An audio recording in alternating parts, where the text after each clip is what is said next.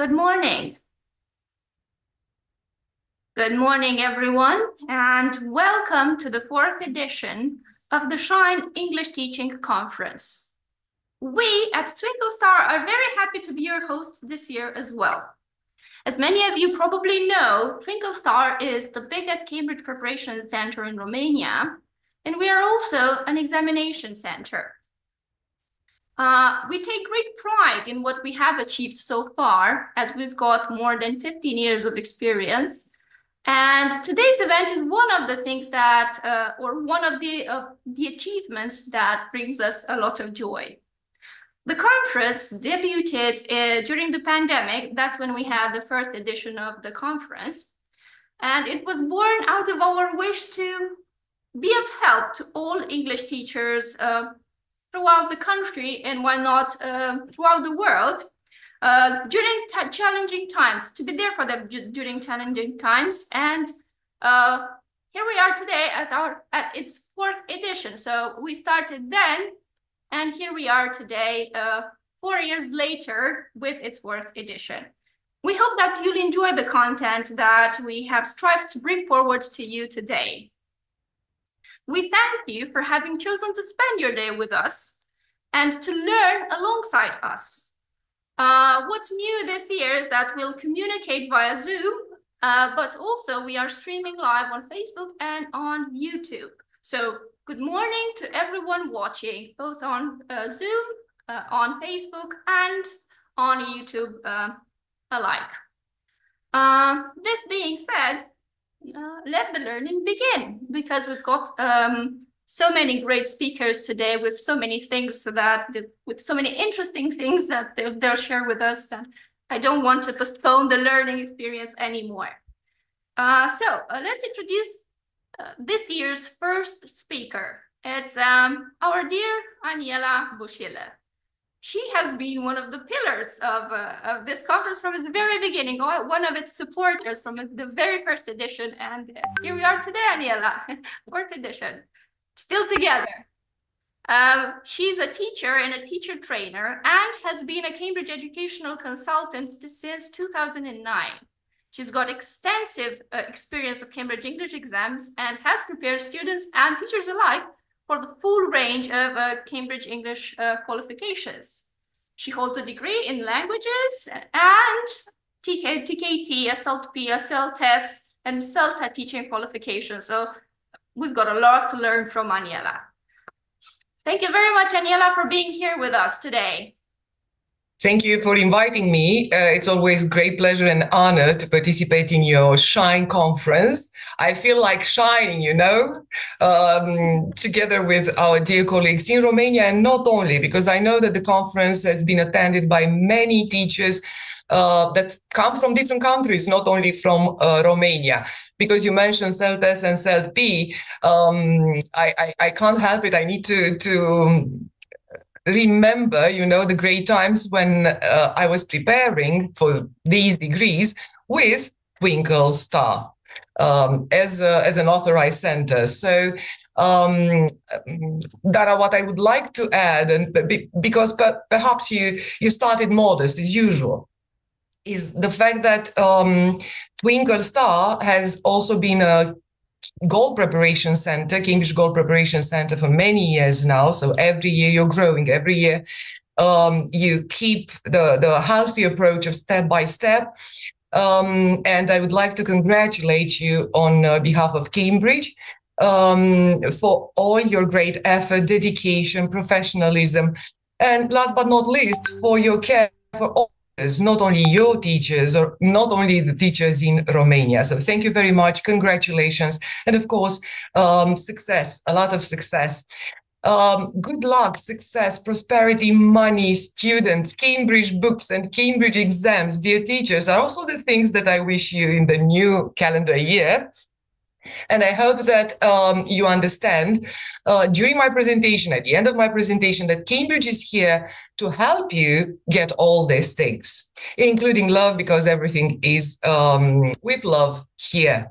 Now, my presentation is going to present uh, Cambridge but in a let's say in a way that you can use it um, in your classrooms or when you talk to parents then i'm going to um, to tell everybody how to become a cambridge preparation center especially now that our host is uh, twinkle star an authorized exam center um, I strongly recommend taking this opportunity and asking for whatever information you need to become a Cambridge Preparation Center. Then I'm going to introduce some new resources. May they be books or um, free of charge resources on cambridgeenglish.org. And at the end, I'll also introduce our initiative, We Can Do Better Than Photocopying. So let's start. Um, not very new, anyways, anymore. Cambridge is now the place where our world, non-native speakers world, grows. And that's primarily because Cambridge Assessment, the, the, the exam department, um, got united with Cambridge University Press in 2022 and now with Cambridge University Press and Assessment, something that everybody had been waiting for, of course. And we believe we're stronger to support you, dear teachers, your students, and of course, their parents. So now we are um, I, I, am going actually to to present to you, especially to new teachers, uh, our exams. We've got exams from pre A1 to C2, uh, the official preparation materials that both can be found on cambridgeenglish.org, again, to support teachers, candidates, and parents. Now, this is our motto, and I'd like you to take a, a minute and read it because it's our um, our mission. And I believe your students should know it and their parents too. So just take a couple of seconds to read what we believe and what we do.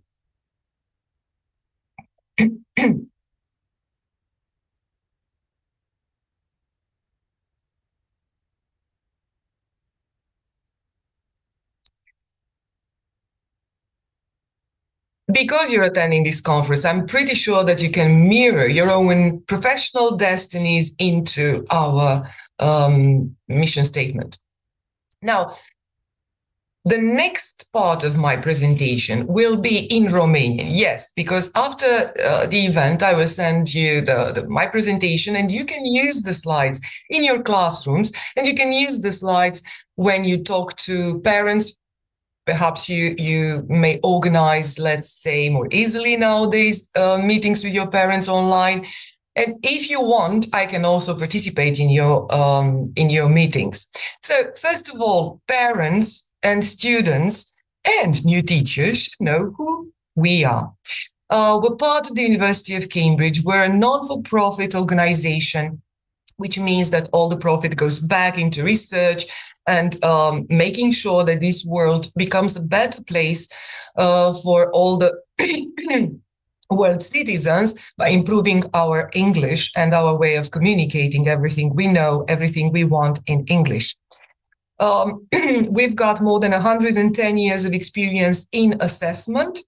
The first exam was launched in 1913. It was C2 proficiency. But of course, alongside with the assessment, we've always invested in um, research into uh, how to teach, how to learn, and how to use, I'm sorry, um, and how to use uh, English.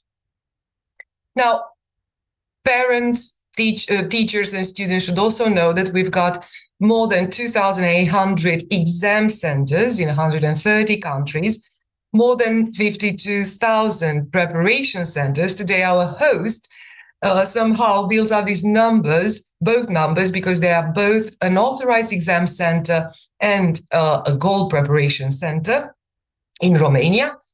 uh, our certificates are recognized by more than 25,000 uh, institutions in the world, universities, companies, uh, ministries. And what's really important is that we uh, we reflect the quality of our work in numbers. And we've got 5.5 million qualifications and tests every year. More than 50,000 schools use our qualifications. These are things the students don't know. and parents don't know. But if you tell them, it will be easier for you to explain why you, you expect um, high standards when it comes to learning, because you also offer high standards when it comes to, uh, to teaching uh, with us, Cambridge.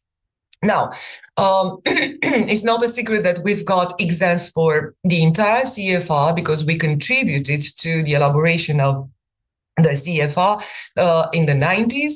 Uh, we've got also a test for very young learners, pre A1 Starters, that is um, at the beginning of the CFR.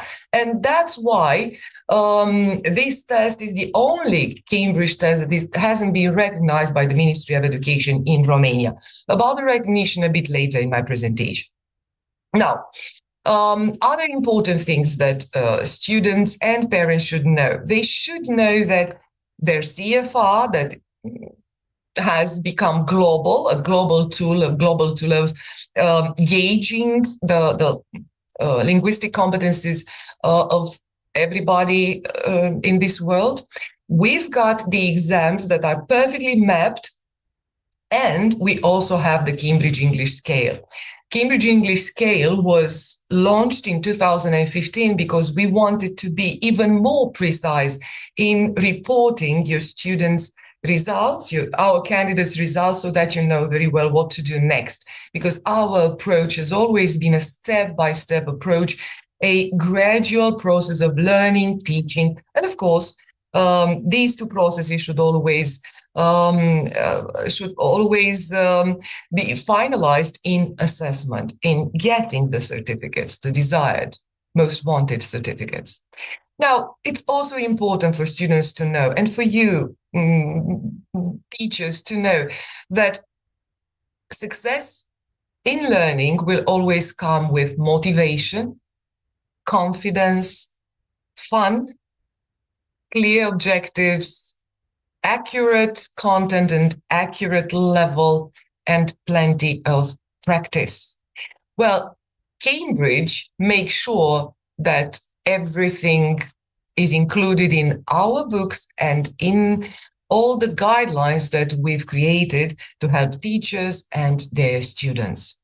So we always um, rely on the way we motivate candidates to prepare for exams, but also to participate in the exams. Uh, we are trustworthy. We offer um, people confidence while preparing for Cambridge exams. Uh, lessons, I know that you know how to make your lessons entertaining. Please, if you haven't, um, if you haven't opened a Cambridge book so far, do that. Maybe today we offer e three e samples online. So open a Cambridge book and you'll find plenty of fun and very clear objectives, the right level for your students, and plenty of exercise.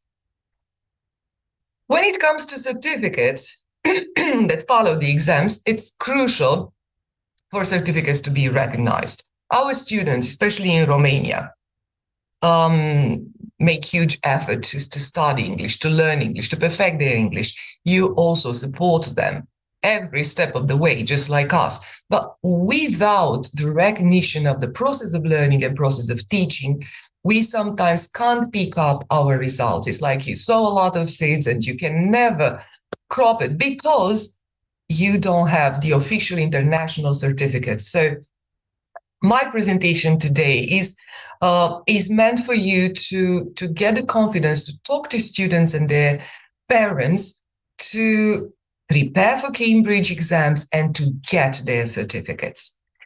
Now, as I've told you already, more than 25 institutions globally recognize our uh, certificates.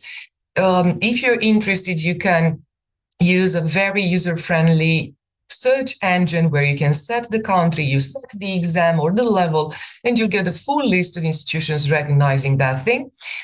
Uh, when it comes to the recognition in Romania, things are very clear um, for, for this year. What I would like to underline before I show you the recognition is the fact that the recognition law gets updated every year and that we cannot talk about recognition uh, for the lifetime. We talk about for the recognition of school year. So I'm now introducing the recognition in Romania for the, the school year 2023-2024. Um, A1 movers, A2 flyers have been recognized to replace the exam uh, that usually grants students access to intensive classes in the fifth grade. And they've been recognized for many years now, I believe more than 10 years, provided that students get a certificate, including 11 shields with this structure four shields in one paper, four shields in another paper, and three in the third paper, in the third part of the exam. Then um, all certificates or Cambridge certificates indicating A2 are to replace the test that usually um, that students usually take in the eighth grade to study in a bilingual or intensive um, class in the ninth grade, the secondary school. and when it comes to baccalaureate, all certificates, including B1 preliminary, are to be um, considered to, to, to help students get exempted from the baccalaureate exams, provided that they obtain grades A, B, or C. Um, now, the feedback that I've always got from teachers is that, oh, come on, B1 preliminary, uh, that's too low. Are you sure the ministry recognizes B1 preliminary? Yes, because the Romanian state can only issue um, certificates that are um, that um, certify B1 and B2. So Cambridge B1 preliminary, this exam, uh, followed up by the, the, the certificate with A, B, or C, is good enough. If you've got questions, do not hesitate to, to contact me. My contact details will be in this presentation and I, you'll also be able to, to see them at the end of my presentation. now, when it comes to the academic recognition that we've got in Romania, these are only some examples of universities that recognize Cambridge certificates. Just an, as an example, if you are a university professor, and you want to uh, teach your uh, your subject in English, you need a B2 first certificate. All in all, all students and their parents should know that certificate exams, sorry, exams have been designed um, to build on the skills developed at the previous level. So this is how we ensure the step-by-step approach. They're all reliable and consistent. They make learning and teaching fun, and they keep students motivated to perform at the highest standards. Last but not least, why should a, a, a student get all certificates when maybe they want only C1 advanced? Well, because nowadays the student's profile and later on CVs are always crucial, will always be crucial um, when it comes to the student's destiny, um, all through the, the, the, educational system and later on uh, in the work in the world of work. Um, it's really important for you teachers to believe in this first of all. And after that, your students will follow you. If you don't believe that every certificate every Cambridge certificate, and not only Cambridge certificate, the IT certificates, other languages certificates. If you don't believe that every certificate will make your student's life better, you will not be um, easy to believe in front of uh, parents and when you talk to them. So first of all, you you need to start to believe that every certificate builds their destiny. Yes, I know it's quite new. We used to believe that you need to be an adult in order to build your CV. No, now CVs, uh, profiles start being built when they are very, very young with young learners. This is a, a, a great moment for, for me to also discriminate between recognition and uh, mm, expiry dates. A lot of people ask me, is that true that Cambridge uh, certificates expire? No, it's not true. They do not expire. There's uh, you, you can't see an expiry date on the certificates, but it's true that some institutions might restrict their rec- uh, recognition to, let's say, two or three years. some institutions, but not all. And when you talk about the student's profile, every certificate means that that student and you, their teachers, have been able to get through a teaching learning process um, consistently, reliably, and you've got great results. So it's a sort of endorsement of your efforts and endorsement of their efforts as students and um, the recognition of their job. Now, I've also promised a couple of words about how to become a Cambridge Preparation Center. First of all, a Cambridge Preparation Center could be an institution or a teacher, a teacher that prepares candidates at home um, or in a private um, institution. So any institution or teacher prepares and enters candidates via an authorized exam center um, I'd like to remind you of the fact that Twinkle Star, our host today, is an authorized exam center. So if you're interested in becoming a Cambridge Preparation Center, today is your day because you can be in, um, in touch with uh, our host. Uh, you can use the Q&A uh, um, in, in, in Zoom, but you can also write your questions in the chat. And of course, you can always contact uh, contact me if you need more information. Why becoming a Cambridge Preparation Center? First of all, because we grant you a logo, this beautiful logo down on my screen. We prepare for Cambridge because you'll have access to more resources to your students' results, to extra uh, free of charge sample papers. Because if you register, but this all these come with one candidate. Only one candidate you need to register in order to become a Cambridge Preparation Center. But if you manage to do a bit better than this, and you and most of the teachers in Romania do that, and you can register more than um, uh, 30 candidates in a school year, then you're granted a certificate, and that certificate will bring value to you as a professional, but also to the institution you work for, uh, which usually off the record gets extra points from the RRGP inspections. Um, for for people that attend the conference from other countries, I might use some some words that you're not familiar with, but they they are um, they are dedicated to teachers in Romania and their schools in Romania. You'll also be granted the marketing materials and you will be able to participate in our loyalty scheme programs, uh, Cambridge Preparation Center words, but you'll also be part of uh, the, the Twinkle Star loyalty um, scheme as well. You'll be in, let's say, more direct contact with us. So plenty of plenty of reasons why you should become a Cambridge Preparation Center. However, a preparation center is not authorized because we will never come to to check on you to see if you teach the right way or if you no, we're not going to do that. We don't inspect, we don't authorize, we don't certify. We only say, yes, you've registered candidates, so it means that you've prepared them. So you're a Cambridge Preparation Center, but you're not authorized. So if there are teachers working for preparation center, Cambridge Preparation Centers, that they notice that the way the center promotes includes something like authorized, certified, accredited by Cambridge, please ask your marketing colleagues to remove that because you cannot be authorized as a preparation center.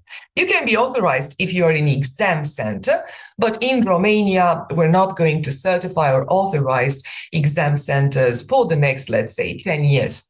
So as a preparation center, you should know that you're not authorized and you're not an exam center or a test center. What you can do instead is indeed to offer your school premises to Twinkle Star, for example, to come with assessors and with the exam papers and organize the exams at the school premises. But this doesn't make the school a test center or an exam center. This is really important because I don't want parents or students to um, not to have access to accurate information.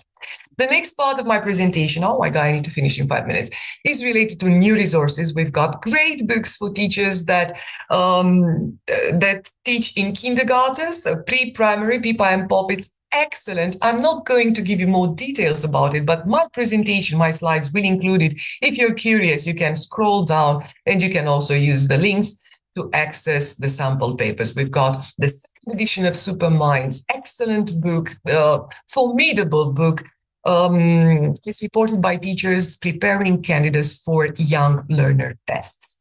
Again, you can find plenty of information here and reasons why you should adopt that book. Prepare is also new, quite new to, to us, Romanian teachers. Um, it, it's a, a title that prepares one exam in two years, so one exam in two books for those, those teachers that don't have the luxury of seeing their students very often during the week. Again, plenty of information in my slides, but I don't have time to uh, to get through all the um, the links right now. If you're interested in books, you can contact our distributors. Their contact is in my presentation.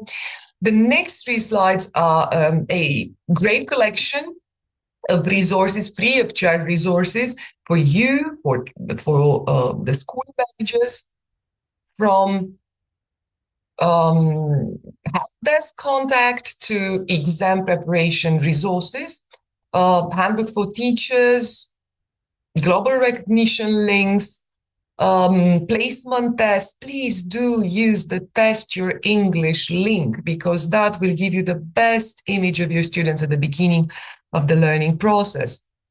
So you, you've got information in, in these three slides, you've got all the information about the free of charge resources that can help you in your process. The last thing I want to talk about is a wonderful initiative. We can do better than photocopying. It's, it's an initiative that we launched um, uh, last year in September. We want kids to get access to books on paper that were published by Cambridge um, because photocopying did us a lot of harm. Uh, when I talk to, uh, when I say us, it's our, we as teachers. Um, when we didn't have access to books and there was, I, I don't know, for, for example, Jeremy Harmer, there were, were three copies available at the university. So we, we had to photocopy um, it because we couldn't find the books. But nowadays, books are here and books are beautiful and books are those that will give you teachers structure, credibility, and elegance and confidence in your teaching. Please don't try to make your own book out of a million books that um, you scan or photocopy one or two pages from. A book is holy because it's got that um, beautiful progression and content. Now, unfortunately, I don't. Uh, that, Dana, do you think I could just, you know, steal three minutes Yes, go ahead, please. Thank you. It's it's it's for all the teachers. I want them to show the video that was created as a special dedication to this initiative. Thank you very much.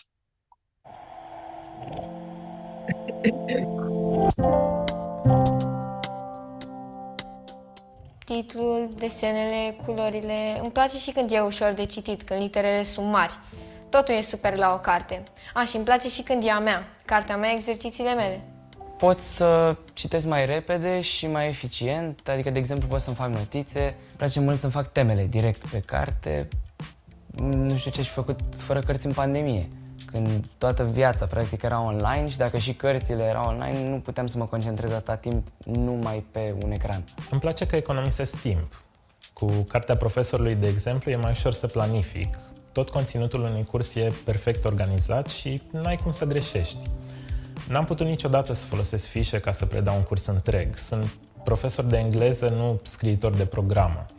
Ei sunt specialiști și ei știu cel mai bine. Am totul într-o carte, de fapt într-un pachet. Manualul cu ce am de predat, caietul de exerciții pentru teme și testele de progres pentru evaluare. Ușor de predat, ușor de recapitulat și verificat, ușor de folosit.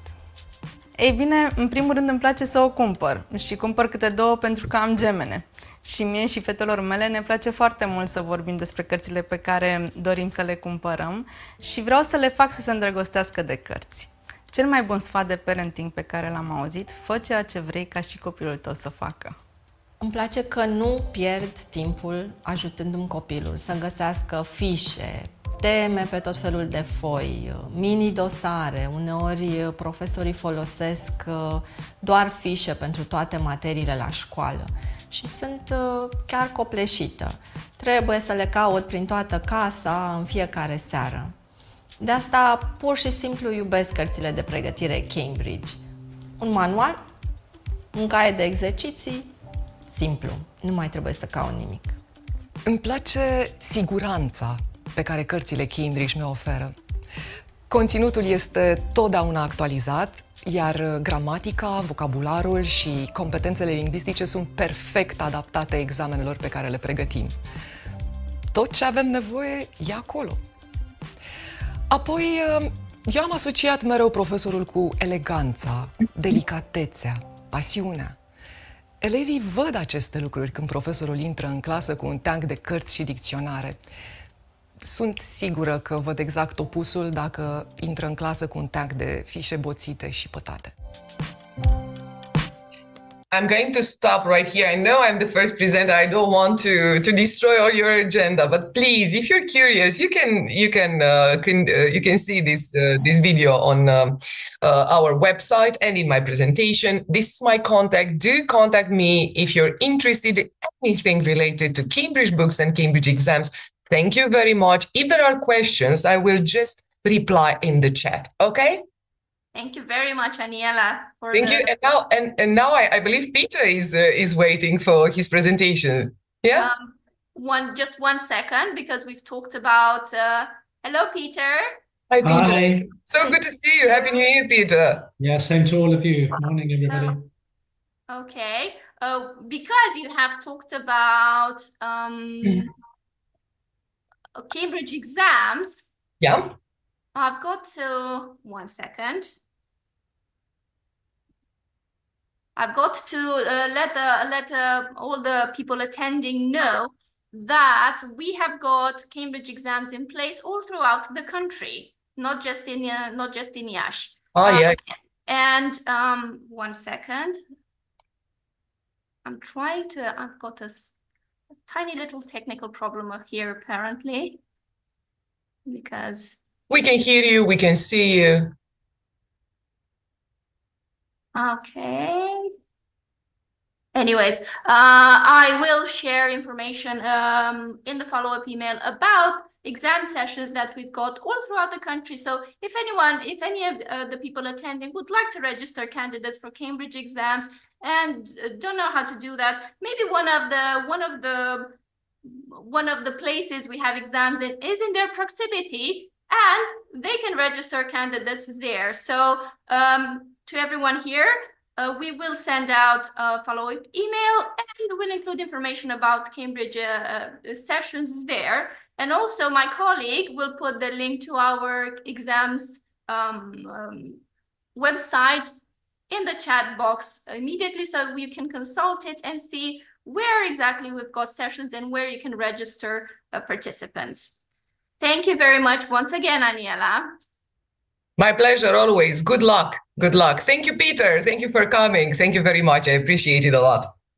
And welcome, Peter.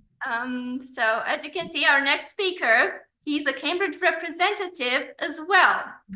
He has got, uh, he has had a long career in English language teaching, teacher training, and management in Europe and the Middle East. And if I'm not mistaken, you're now based in Cyprus, Peter. That's right. Yeah. Yeah.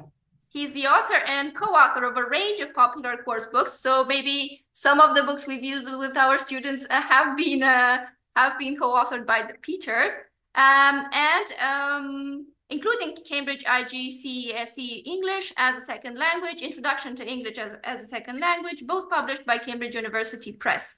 He's also the co-author of From Teacher to Trainer with Matthew T. Ellman, and he is a professional learning and development manager for Cambridge University Press. Once again, thank you, Peter, for being here with us today. You're welcome. It's lovely to see you. And uh, hi to everybody who's joining us today.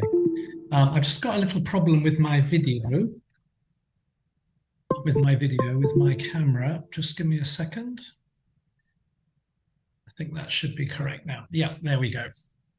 Okay. Hi, everybody. I think there's goodness me, nearly 300 people here. Um, I hope it's going to be a, a, useful 60 minutes with me. Uh, I'm not going to talk about books. I'm not going to talk uh, specifically about um, methodology. I'm going to be talking about you. I'm going to be talking about you, the teachers. Um, for me, teachers are the most important people um, in the in the classroom. I know we think the students are, but I think the teachers are. So we're going to talk this morning um, about you and your about teacher learning, not so much about student learning, but today we're going to talk about uh, teacher learning. Just before we begin, um, I'd like to show you uh, this QR code. Um, if you'd like to receive uh, information from us, uh, teacher resources for free, um, information about events and webinars for free, uh, information about exam preparation centres, as Aniela has just been talking about, please use the QR code um, and there'll be a form for you to fill in, uh, which will enable us to uh, contact you uh, with all the relevant information. Okay, so let's get started. As you've heard, uh, my name is Peter Lucantoni. That's Italian. My dad was Italian. My mum is English. I was born in the UK. I was educated there, uh, but I haven't lived in the UK uh, for about 40 years now. Uh, I've lived in uh, Europe and the Middle East, uh, and now I'm based in Cyprus. And I'm the Professional Learning and Development Manager for Cambridge University Press and Assessment. as you heard, I'm also an author. Um, I've written books for students, for example, uh, IGCSE English as a Second Language. Uh, but last year I published with my uh, very good friend and colleague Matt Ellman uh, a book called From Teacher to Trainer, which is a book for um, a handbook for teachers, if you like, uh, who are moving into the role um, of, of teacher trainer. So, what we're going to cover today um, is the following points. We're going to have a think, first of all, about what's the point of teacher learning. What are we aiming for with teacher learning? And we're going to talk about uh, impact and the importance uh, of impact in what we do um, as both uh, trainers and teachers. We're going to look at how the process of developing teacher learning actually takes place. And we're going to look at how we can actually implement uh, teacher learning, and there'll be an opportunity uh, for uh, a summary as well. Um, I hope I'm going to be able to make this interactive. It's difficult with 300 people, um, but we do have the chat box. So I hope when I ask questions, um, you'll be able to type some answers into the chat box. So let's begin with a question. And in fact, it's a question which you don't need to answer. Uh, you can if you want, but you don't need to answer it. It's just a sort of a reflection question. I want you to think about yourselves and decide if you are A, B, or C. And it doesn't matter if you're A, B, or C, but it's just to get you thinking about where you are at the moment uh, in terms of your teacher learning and your teacher development. So, are you a teacher who manages your own development. And if you've decided to attend th- this uh, this event today, then possibly you're A. Um, are you somebody who's responsible for teacher learning? Are you a trainer or are you a head of department? Are you a coordinator? That would make you B. Or maybe you're neither A or B and you're you're somebody completely different. So that would make you C. So as I say, you don't need to answer, but just think Am I an A, a B, or a C? And try and keep that in mind as we go through uh, the rest of the presentation. I'm just going to have a quick look at the chat box. And yes, people are responding. Um, yeah, we've got lots of yeah, lots of A's coming in. Okay, but as I say, you, you don't need to answer. It's really just a thinking question. Uh, there's a couple of B's coming in as well. Okay, great. So let's look at our first question, which is what are we aiming for in teacher learning? What's the point of teacher learning? Now, this time, I do want you to answer. So, very quickly in the chat box, any quick responses to the question what are we aiming for in teacher learning? What are we aiming for in teacher learning? If you prefer teacher development or, or, or teacher training, what's the aim of it? Yes, Irina says to improve our skills. Nice first answer. Good.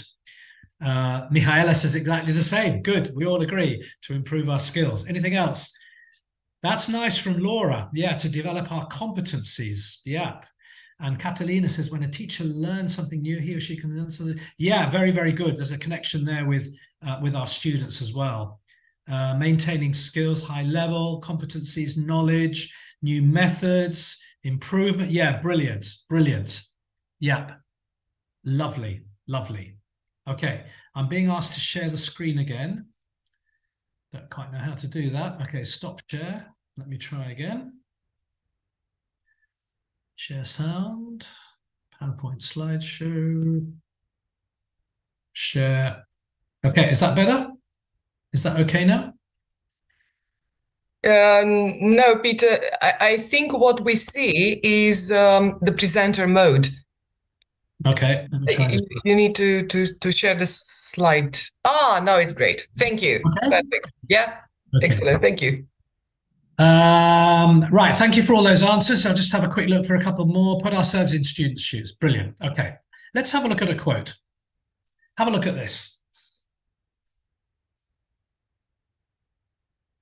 I think this is a superb quote because I think it makes the point that, um, or, or it it removes the negativity in the word improvement. I think when we hear the need, the, hear the word teachers need to improve, we we we think about negativity. Uh, when we say to students, you need to improve, I think it has it has quite a negative connotation. But of course, improvement is not suggesting that you're no good. Improvement is suggesting, as Dylan Williams says, it's not about you're not being good enough or you're not doing well enough uh, or you're lazy. It's because we can always be even better. And I think that's the key to teacher learning and indeed to student learning is that everybody needs to improve, not because you're no good, not because you're doing things in a in a in a bad way, but because everybody can be even better. And nobody is excluded from that. So what are the missing words? One, two, three, and four. Quickly in the chat box. What are the missing words? Sustained what in teaching knowledge and practice? This is what we're aiming for in teacher learning. We want sustained what? What's number one? Begins with the letter I. Sustained what in teaching knowledge and practice? Uh, Roxana says interest. Yeah. Okay. Independence. I like that. Alina. Yeah. Interest, independence. Yeah. Yeah. Interactivity. Yeah. I haven't seen the right word yet. Okay. The second letter is M. M for mother.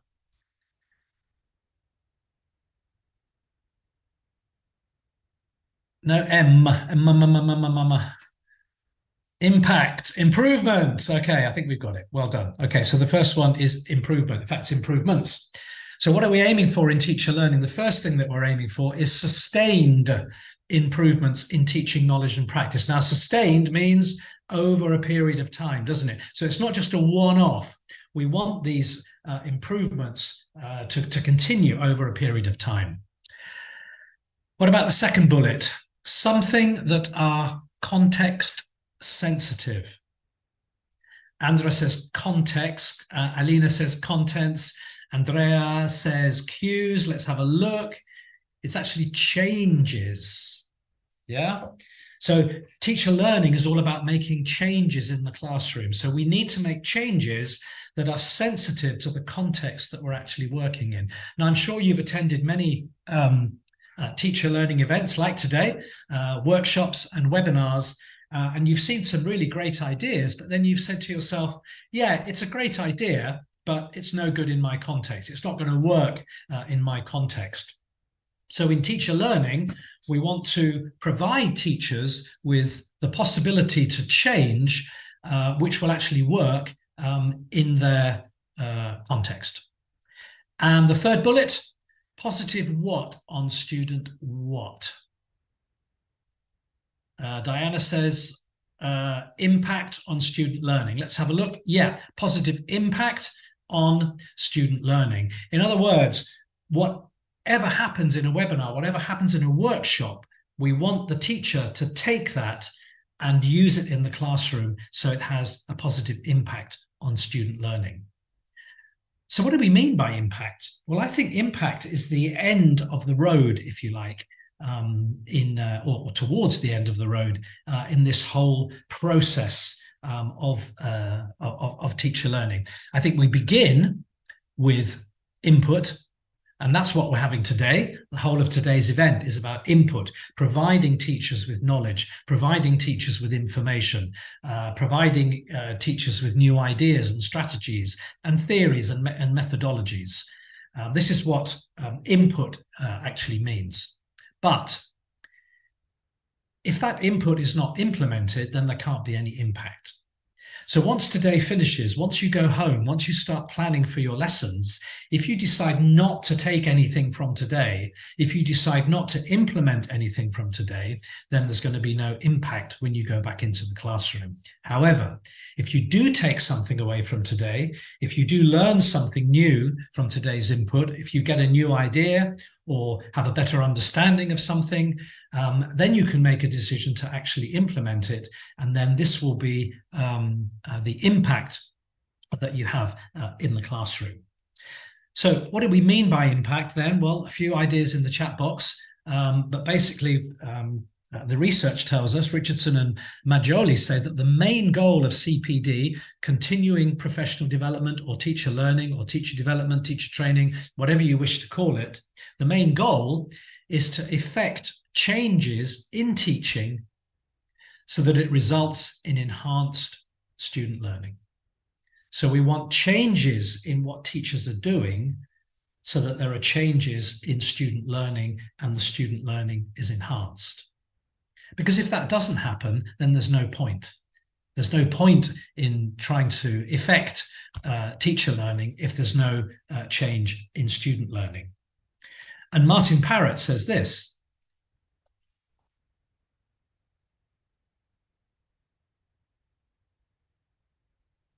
So the goal of teacher education should be more effective learning of English or maths or geography. It doesn't matter what the subject is, but the whole point um, of, of teacher education, uh, the whole um, way in which we get this impact or, or, or, how we realize the impact is by more effective learning of English uh, by pupils and students.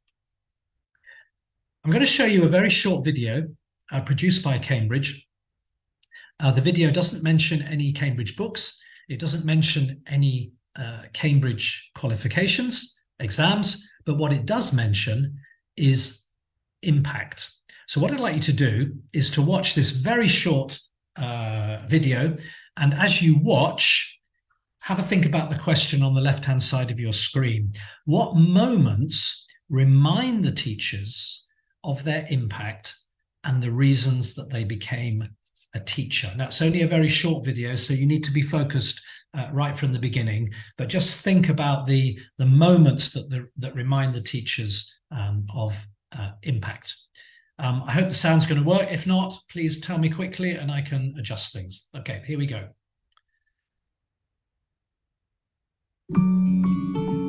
Teaching English is not always easy. Some days can be hard. But then there are those moments that remind me of my impact and why I became a teacher. Watching them succeed is just the most incredible feeling. That feeling when they overcome their fear of speaking English. That feeling when they accomplish their goals. That feeling when they take the time to say thank you. That feeling when your world grows. Cambridge is where your world grows.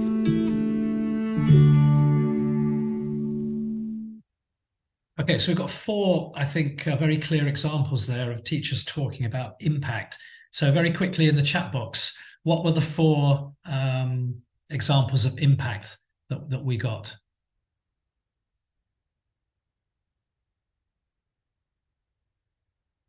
The first one was about success, wasn't it? Somebody opening the envelope with their uh, results in. Uh, Laura says it was very emotional. Yeah, it was. Yeah, good. But what were the other examples? Yes, getting over fears. Good, Nicoletta. Yeah, yeah. Overcoming their fear of speaking. Yeah.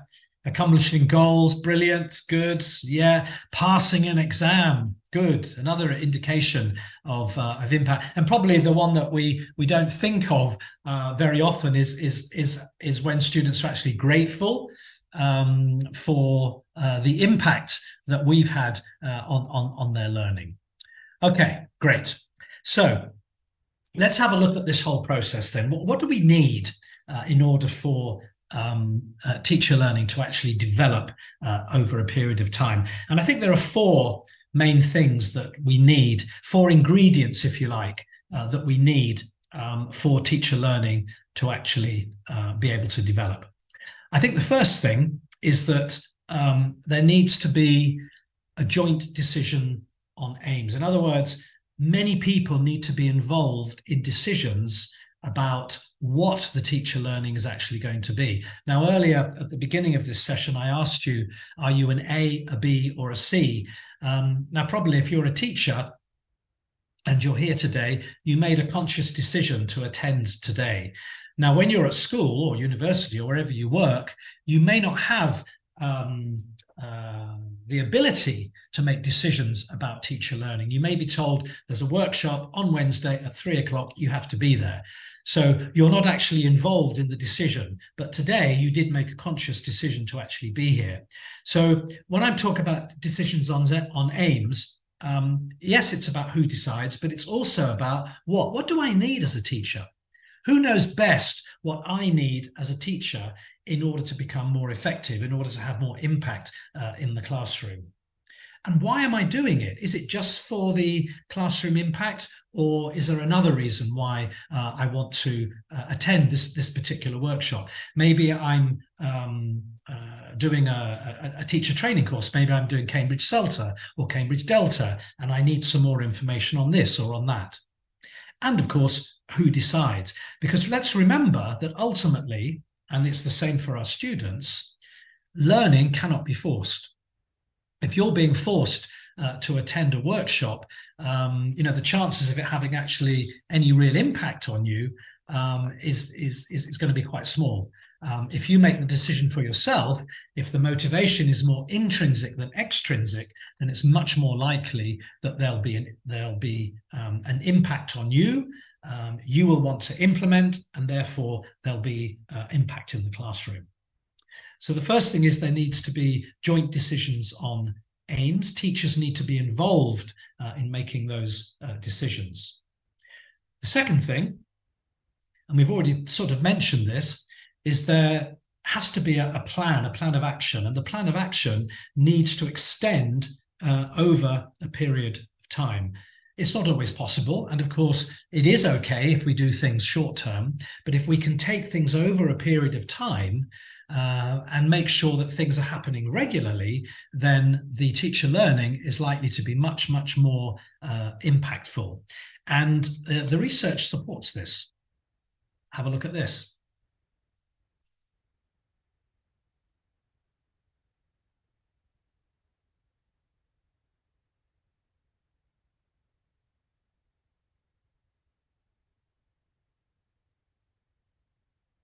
So the research is telling us that when teacher learning is extended or prolonged over a period of time, it's more effective than shorter ones. And this particular piece of research um, mentions two terms or, or, or two school semesters, even a year, and in some cases, even multiple years. So if we can extend our teacher learning over a period of time, then it's much, much more likely um, to be of use.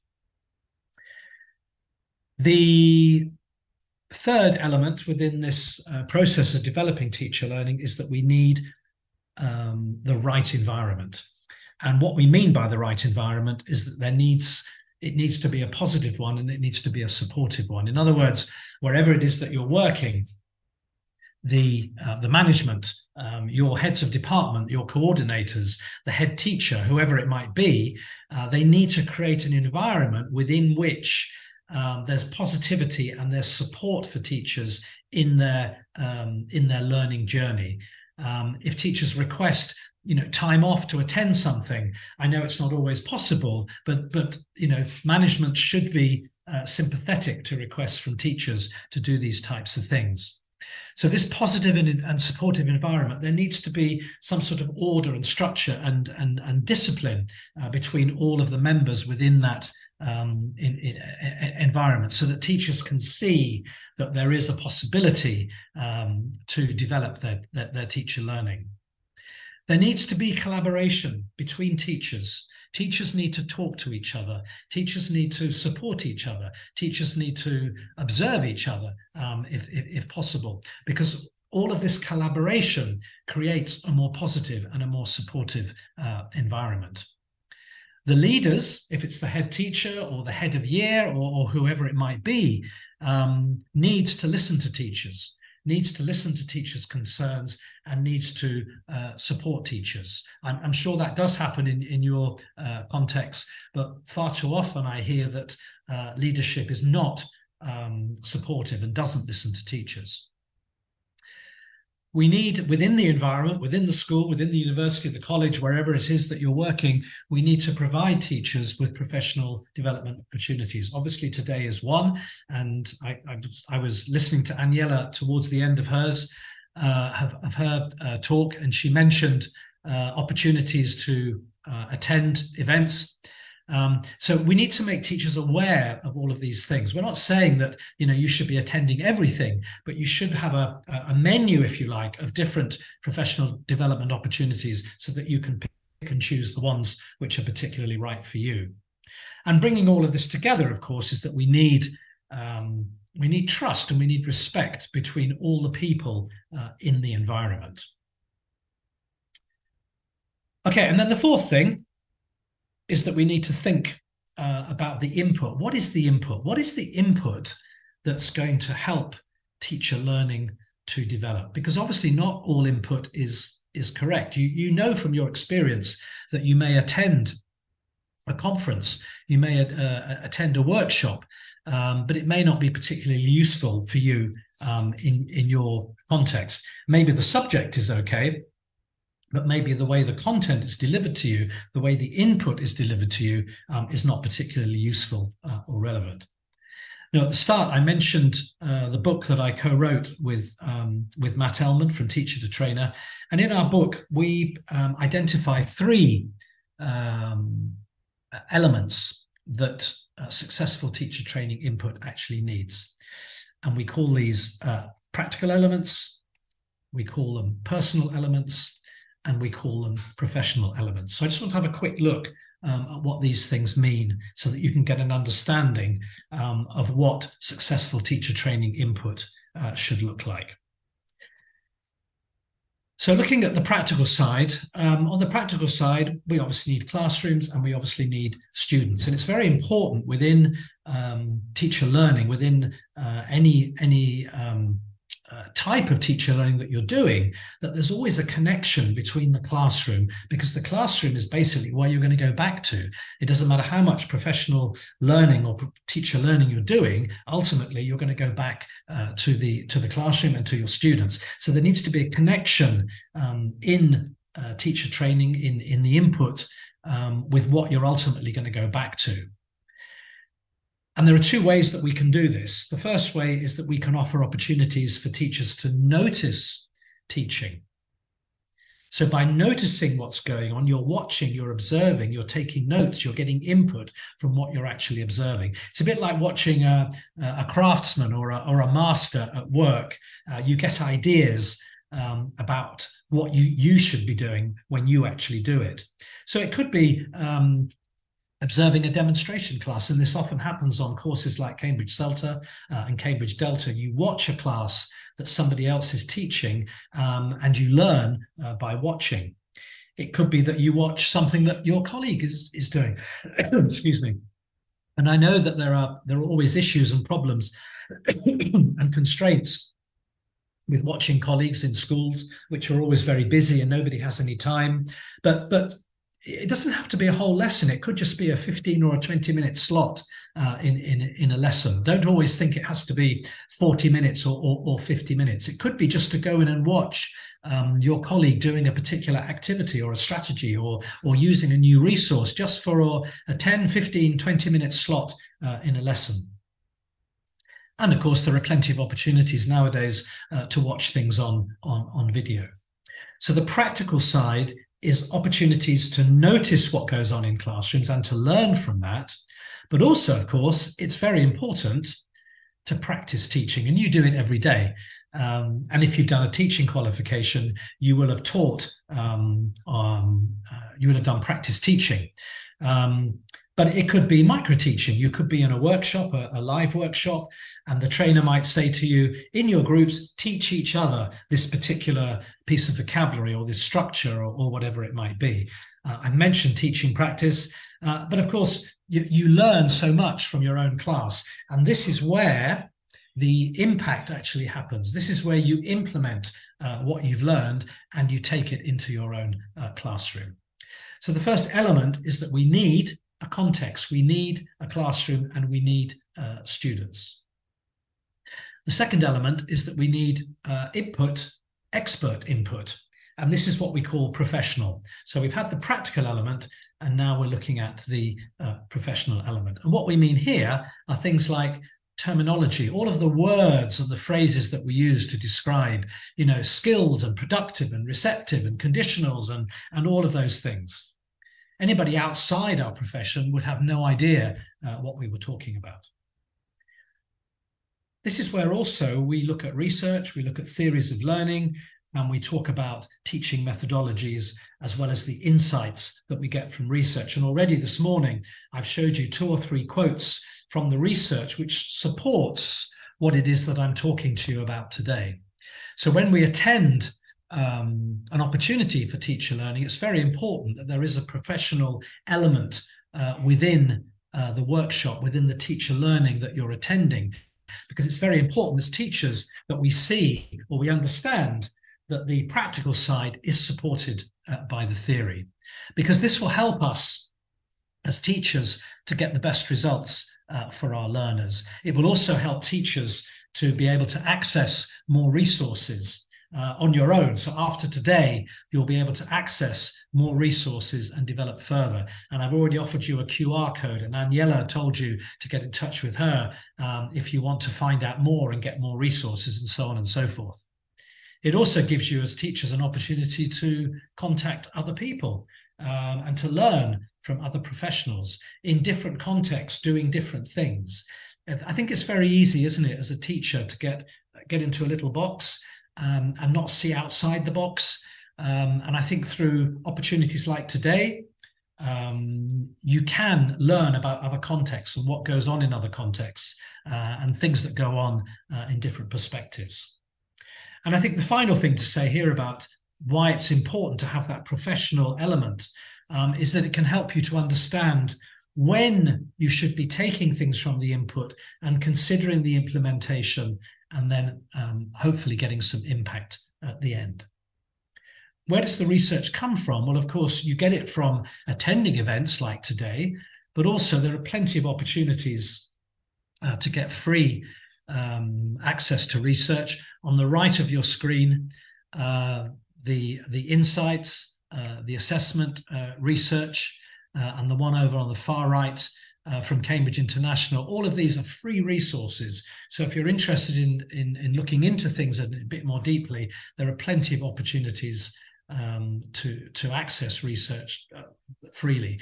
The, the second one, um, Teaching Grammar for Adults, um, this is just one example of the insight booklets which are research based, but, but which also give you loads of practical ideas um, uh, for using in the classroom.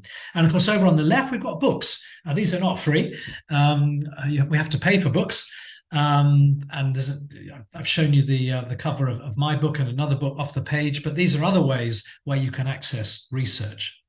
And one other way to get free research, this is brilliant, Oasis, if you're interested um, in getting uh, research on a, on a regular basis. You just sign up for the Oasis uh, database, it's free, and they'll send you a monthly list um, of, of, of um, research into various areas. So if you're interested in reading skills, you just type in reading and it will give you all the research on reading and, and so on and so forth.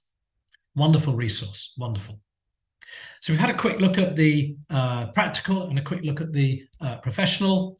The third one is the personal. And this is where you really come into the uh, workshop. And it's very important in um, any uh, teacher learning opportunity that you're involved in that the content um, is sensitive to your context and uh, its characteristics. So the training, the input if it's going to be successful, needs to be um, uh, sensitive to your particular teaching context. It's very important that the, the person delivering the input, delivering the training, is aware of what goes on in your particular context. And uh, that awareness will help them to make the input much, much more relevant uh, to you. Part of this also is about understanding you, the teacher, and understanding what your needs are and your beliefs are, your opinions and your ideas, because all of that helps uh, to shape the input uh, which is delivered. But the most important thing here, of course, is that if the input is sensitive to the context, then it makes it easier for the teacher to take the input and implement it in the classroom so that we have uh, impact. And just as a little example, um, we've got two um, different classrooms here. On the left, uh, we have um, a sort of a lecture style setup. And on the right, uh, we have a group work setup. Just very quickly um, in the chat box, just tell me um, which is yours? Is yours on the left or yours on the right? Where you teach now, is it left or is it right? Left or right?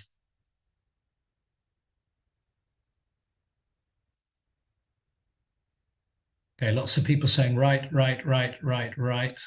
And Kodruta, I think I've pronounced your name correctly, is saying that number one is more teacher-centered and that number two on the right, I guess you mean, is more engaging. Uh, Krina says left, you're the only one. Ah, Vic, Vic, Victorita says left and right. Yonella left. Okay, so we're getting some lefts as well as rights. Okay, that's great. It's interesting to see that there is. Ah, that's interesting, Irina. Both. It depends on the situation. Yeah. Uh, Eleanor also says both. The important thing, of course, is that most of the time, it's not in your control to change it if you've got left, you have to deal with it. If you've got right, you have to deal with it. It's not uh, bad cop, good cop. It's not black and white. Um, they're contexts that we have to deal with as teachers and, of course, as, as teacher trainers as well.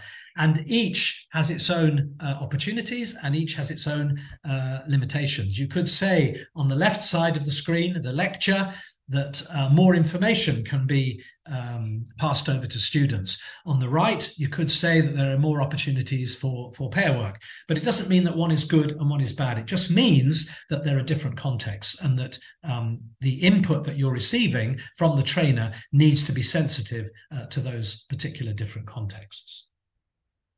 So we've looked at the three um, ingredients for impactful and for successful uh, teacher learning, the practical, the professional, and the personal. It doesn't matter um, in what order they appear uh, in the training. It doesn't matter how much of each one there is, but it's very important that the training, the input, includes elements uh, of all three. So let me just give you a, a little example here. Um, let's let's let's imagine that you are uh, attending a training session on uh, concept uh, checking uh, questions, and here's a very very brief plan from the trainer. Um, can you tell me what the aims are for each of those three stages in this training plan. Remember, it's not a lesson plan for students. This is a training plan for teachers. So in the first stage, there's going to be a discussion about um, how many teachers already use CCQs um, and what are the circumstances and why. Then the trainer is going to explain why CCQs are so important and give some examples. And then thirdly, the teachers are going to work alone. So what are the aims of those three stages? I think I'll give you a quick clue for the first one. The, the aim of the first one is to find out what teachers already know. So what about numbers two and three? What's the aim, do you think? What's the aim of, of stage two? What are we, what's the trainer trying to achieve? Stage one, the trainer wants to find out what the teachers already know. And in the second one, what's the what's the aim? Anybody want to be brave? No, nobody wants to be brave.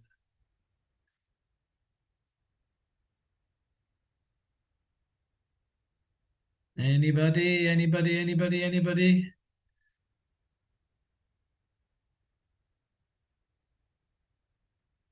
Why would a trainer do that with teachers? What, what's the what's the trainer trying to do? They're trying to help teachers what? Bodruta says discovery, organization. Okay, what they can do. Okay, right, we're there. We're there. We're just about there. Good. So the aim of the uh, second one is to help teachers understand the theory. Aniela says guided discovery. Yeah, finding out their needs, checking understanding. Okay, brilliant. What about the third one? What's the aim of the third stage? Teachers work alone to prepare some CCQs. What's the aim? Alina says practice. Yeah. Andrea says practice. I'll give you half a mark. I want a little bit more, just a little bit more. You're right, but just a little bit more. I'm going to have to tell you because I realize that time is um, not on my side. Controlled practice. Yeah, remember, it's not for students. This is for teachers. So it's not controlled practice because that, that's a, a term we use with, with students, isn't it? Practical teaching. Okay, we're nearly there. We're nearly there. So let teachers practice applying the theory. Okay, so for each stage of this training plan, there is an aim. Now, what I want you to do is to tell me those three aims are they personal, practical, or professional? Personal, practical, or professional? What about the first one? Is it personal? Is it practical? Or is it professional? Ionella says personal. Let's have a look. Absolutely right. Brilliant. Good. What about the second one? Explain why CCQs are so important.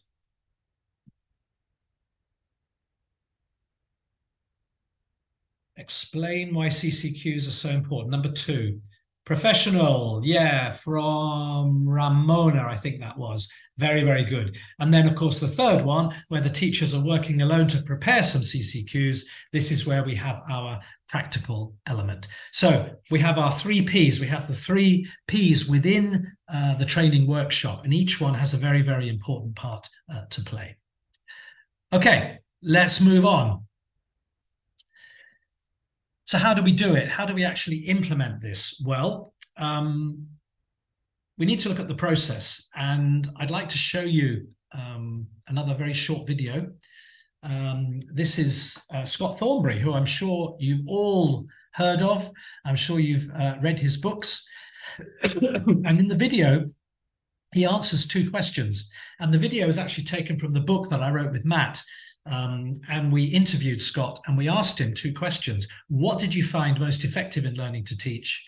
And um, uh, to what extent does that experience uh, influence the training that you now deliver to teachers? So have a, have a quick look and um, make a note of three activities that he says he found effective, three activities or, or, or three situations, and have a think about what he says about it, about each activity and how they've influenced um, his training now.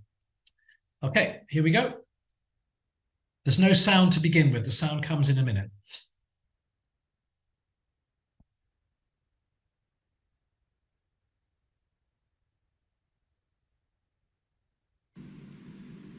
I guess for me, the most effective developmental processes that I experienced as a, as a new teacher we're talking to other teachers in the teachers' room, um, asking questions. You know, how would you do this? How would you teach this unit in the book? Um, what's the past of must? Things like that. So we had a very uh, mixed, in terms of experience, teachers' room, but we also had a very positive sharing kind of institutional uh, context. So I think that's that got me through the first six months or a year, I guess um, being observed uh, from time to time. I did, I do remember um, critical interventions by an observer or observers in terms of giving me feedback, which really pushed me to rethink uh, and to innovate in ways that uh, I might not have done just on my own. So I do think observation's useful. Um, peer observation would have been useful too, but we just didn't have the means to do it. Uh, it was quite a while before I got any kind of formal developmental training in the like an in-service course, for example. That was like at least five years after I uh, had started teaching. But of course, that that was extraordinarily influential, uh, combined with the kind of reading that I started doing at that stage. Uh, so, you know, most of the, as I said, most of my experience was kind of classroom driven, and I think that's affected my teacher training too, to a large extent. I kind of really aim at the practical and the dialogic, know? talking about what you're doing in the classroom, what you've done, what you're going to do, doing it as a group, uh, and doing that both in pre-service and in-service training, that it just seems to be the best possible way. Of course, coupled with observation, observation of videos, observation of real classes, but it's that sharing and collaborative planning and group feedback on lessons that uh, it's a great model uh, and it's classroom based. It's not theoretical, it's not book based, it's based on what happens and what the trainees experience in their own classes.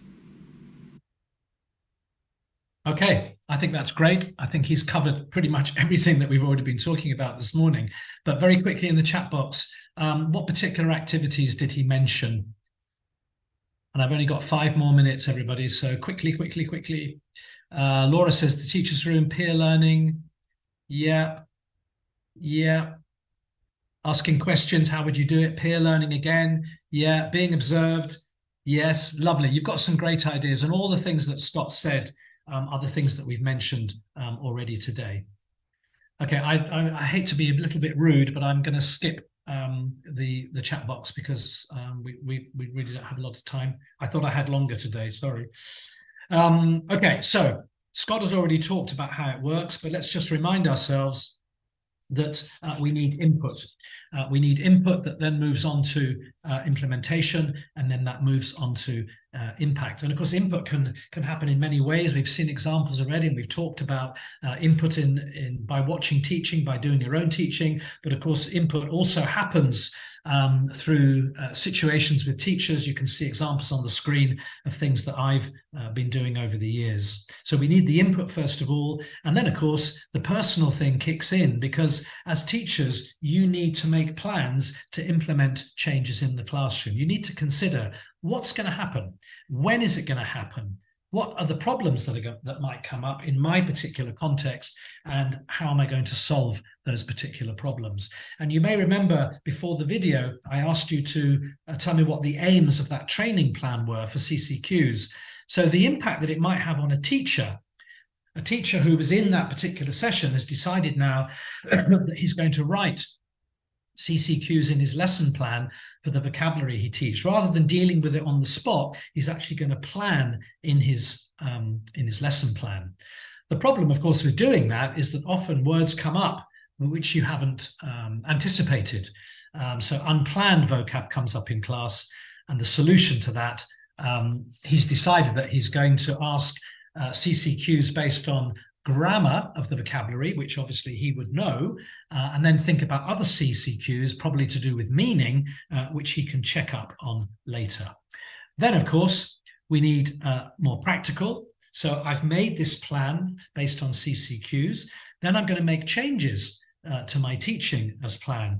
And I'm going to uh, think about it over time because we've talked about sustaining things. So maybe a couple of weeks, maybe a month. And then I'm going to do it again and again. I'm going to try it with different classes in different levels with different types of students uh, to see how it works out. And then the final step here is, of course, that I need to check has it worked? And how can I check? We'll look at that in a minute. But I need to use different checks to evaluate. And based on my checking, I need to make changes as necessary and then maybe go back uh, to more uh, practical issues. Um, how can I make those checks? Well, there are many ways that we can do this. Maybe I could get somebody, uh, a friend, a colleague, one of my peers to come in and observe me uh, and to uh, give me some uh, information. I can get feedback from my students. Maybe it could be done orally, maybe it could be through a written form, maybe through exit tickets as students leave the lesson. We can ask them little questions, or maybe when they come into the next lesson, you can ask them to reflect uh, on what they did previously. And of course, we all have to look at students' work. That's another way that you can do it. Right, I've got two, one minute and I have finished. So just very quickly uh, to summarize, you need to tell me what's hiding under the red uh, boxes. So the goal of what learning is better what learning. The goal of what learning is better what learning. Yeah, Justina. Yeah, yeah, yeah. So the goal of teacher learning is better what learning? Begins with S.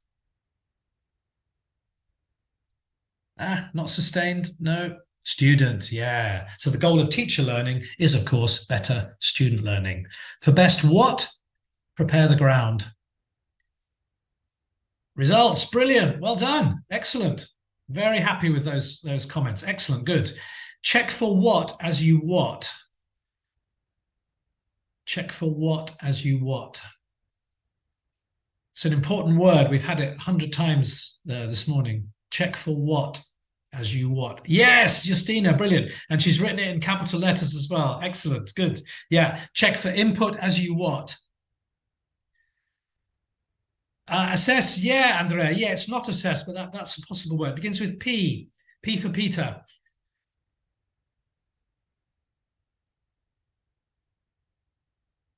Yes, uh, somebody got it there, didn't they? So I didn't see it in the chat. But Andrea, thank you very much. And finally, allow time for what to consolidate.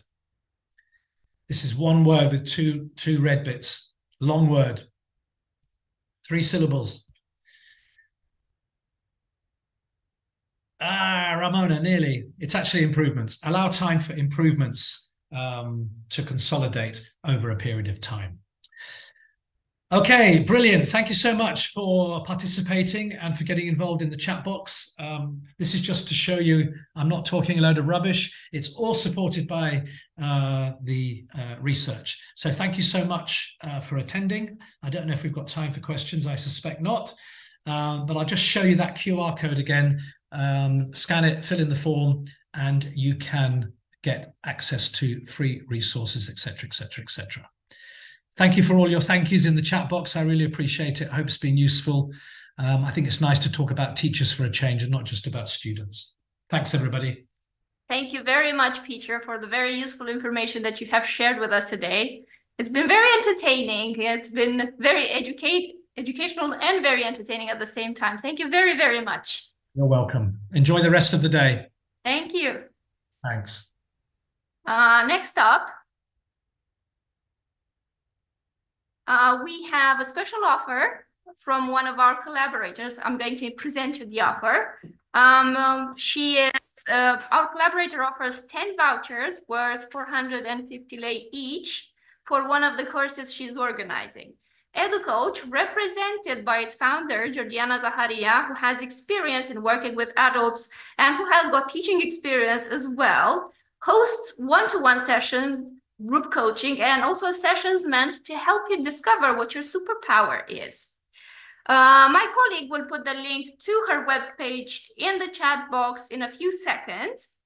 Uh, what you'll have to do in order to get uh, to get one of to to be able to win one of those vouchers is um, we will send out a follow-up email and um, we will uh, give you um, feedback form to fill in based on which you will receive your participation certificate. So what you'll need to do in order to receive your participation certificates is basically to fill in the feedback form. Don't worry if you won't be able to do it during the session because you will receive, as I said, a follow-up email after the after the conference. So what you need to do is to fill in the feedback form uh, until Wednesday, the 10th of January by 12 o'clock. And that's the, that's the, somehow, uh, that's the same time by which, by when you should fill in the feedback form in order to get your certificate uh, as well. And at 1 p.m., we will broadcast uh, live uh, the draw, which will designate the winners of the 10 vouchers that Georgiana has prepared for you. Now we've got a short coffee break. Don't go far. We'll be back at approximately 30, 33 past 11. Um, go get a coffee, go get a, a sandwich, a refreshment, and we'll be back in a few seconds.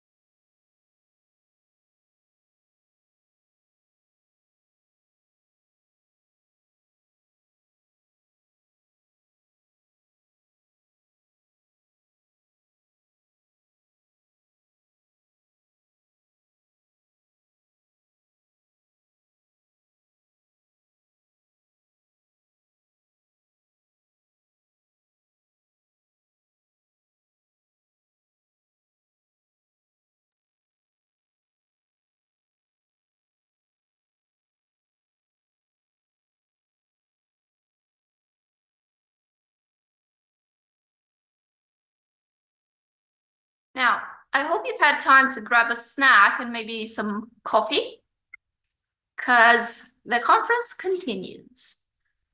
And I'm happy to introduce our next speaker. So our next speaker today is my colleague, Cosmin Frunze. Cosmin has been an English teacher at Twinkle Star for more than eight years. He has got a BA in English, and for the past years, he has been a mentor for university students who want to pursue a teaching career via the Train to Teach program implemented by Twinkle Star a few years back. Welcome, Cosmin. Welcome. Can everybody hear me? Yes? Okay, good. So we can start, right? Yes, for sure. Right. Just a second. Can you see it? I think you you can start slideshow. Maybe it will. Oh, okay. Is it okay? Yeah, yeah. Wonderful. All right. Good.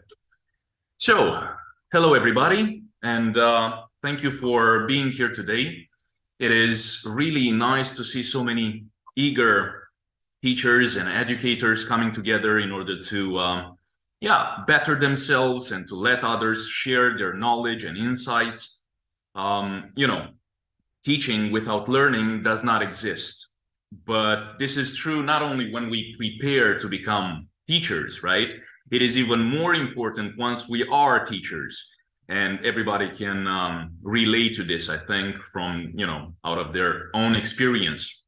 And hopefully we'll all remember this during our time uh, in the classroom. Now, what I want us to do today uh, is embark, even if only for a very short period of time, I know, but to embark on a crucial exploration into the heart of education, a journey that delves into the intricate challenge of student engagement in an era that is obviously saturated with all sorts of distractions, right? And it's important now more than ever, in my opinion, to explore and understand solutions to motivate students in this fast-paced and technology-driven world.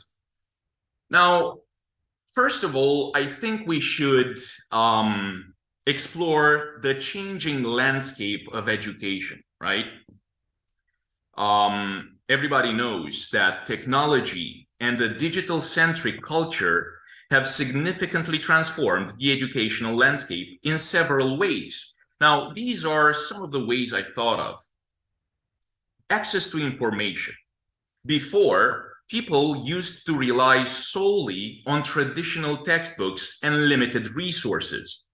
However, nowadays, the internet, which is a very important factor, right, provides instant access to a vast amount of information, enabling students to explore uh, diverse topics, diverse perspectives, right? So they basically come into contact with all sorts of points of view. Then there's the issue of interactive learning. Before, right, in the past, students had a more, let's say, passive way of learning. And I think we can all relate to this, right, with few interactive elements. Nowadays, technology enables interactive learning through uh, multimedia, simulations, educational apps, making lessons more engaging and obviously more dynamic, right? Then there's global connectivity. In the past, students had limited exposure to global perspectives, which is very important to take into consideration. Global perspectives, right? There was this separation between cultures, so to speak. People were more isolated. Nowadays, digital communication tools and online platforms, they facilitate global collaboration. They connect students, they connect educators and experts from all around the world, as we can see right now, right, during our meeting. And I think we are very privileged to live in this day and age, right? Then there's the issue of remote learning. What options for distant education did people in the past used to have? It was very difficult to do something like this. Nowadays, technology allows students to access education remotely, providing both flexibility and accessibility, especially during, let's say, unforeseen circumstances such as COVID and the like. However, the prevalence of distractions and their impact on student engagement must be highlighted. Now, I want us to define the engagement crisis. Definitions are very important all the time, right? What is student engagement? Student engagement refers to the level of active involvement, interest, and participation demonstrated by a student and their learning experiences. And, you know, it's more complex than it may seem at first because it involves a combination of cognitive, emotional, and behavioral components, indicating a student's investment in and connection to the learning process. Now, let's talk a little bit about uh, the importance of engagement during lessons, engagement in the classroom, at school. Student engagement is crucial for several reasons. First, we can talk about academic success, right? I think that we all agree that engaged students tend to perform better academically as their active participation and interest contributes to a more effective learning experience. Uh, then engaged students create a positive and collaborative classroom atmosphere, fostering a sense of community and shared enthusiasm for learning, meaning they go to school happily, okay? Because that's where they meet kindred spirits. And this is what we should aim for. Now, making school a place they enjoy, they want to go there, right? Then engaged students are more likely to be motivated to show persistence in the face of challenges, and to develop a lifelong love for learning. Our goal as teachers is not to, you know, fully educate people, but to make sure that future adults will view learning as an enjoyable everyday activity for the rest of their lives. Then engagement positively impacts students' social and emotional well-being, right? Leading to increased satisfaction, confidence in everyday life, a sense of accomplishment. And let's face it, children spend most of their time at school. This is where their social life begins. If they are not engaged at school, they will associate disengagement with all sorts of relationships, and we do not want that to happen. And finally, developing strong engagement habits prepares students for success in future educational endeavors and their professional life, right? By cultivating essential skills, proactive attitude toward learning, and so on. Now, it's also important when we define the crisis that we are currently going through in this you know educational ecosystem it's important to know the signs and the symptoms of the engagement crisis the problem is that many people ignore the signs of an issue right? And so they'll have to deal with it later on but it will be significantly more difficult to solve the problem then. So we need to mind these things. Now some signs that i thought of are these ones. First lack of participation. Just you know take a long look at your group at your class students show minimal involvement in class discussions activities or other interactive elements. That's a sign of you know um a crisis start um i don't know um happening okay or at the beginning. Um then you notice a lack of energy a lack of enthusiasm or interest among students during lessons, that's when you know that something must change. Then uh, students are easily distracted, exhibiting, a, I don't know, a tendency to lose focus on learning material. They start using their phones during lessons. They look through different books and magazines. They are not on the same page or on the right page and so on, right? Then there's incomplete assignments when you see that there, you know, you have a high rate of incomplete assignments or a decline in the quality of submitted work by the students, uh, this may signal disengagement, okay? And you know you have to solve a problem. Then there's the issue of reduced social interaction among students, both inside and outside the classroom, which also may indicate disengagement. Now, there are several factors contributing to this crisis. And these are some of the factors affecting uh, student engagement that I thought of. First, digital distractions, right? Constant access to smartphones, uh, social media, and online content. I think this or these things can divert students' attention, leading to decreased focus on educational tasks and reduce uh, reduced engagement, right? Then you have the information overload. Yes, this is a thing.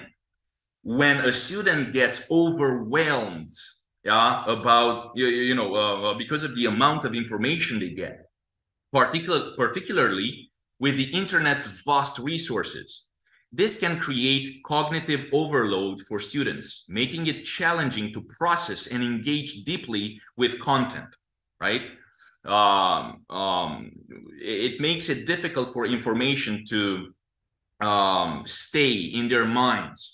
Then we can talk about lack of student voice. This can be a factor, okay? This can contribute significantly to the engagement crisis by creating an environment where students feel, let's say, disempowered and disconnected, okay? A lack of student voice.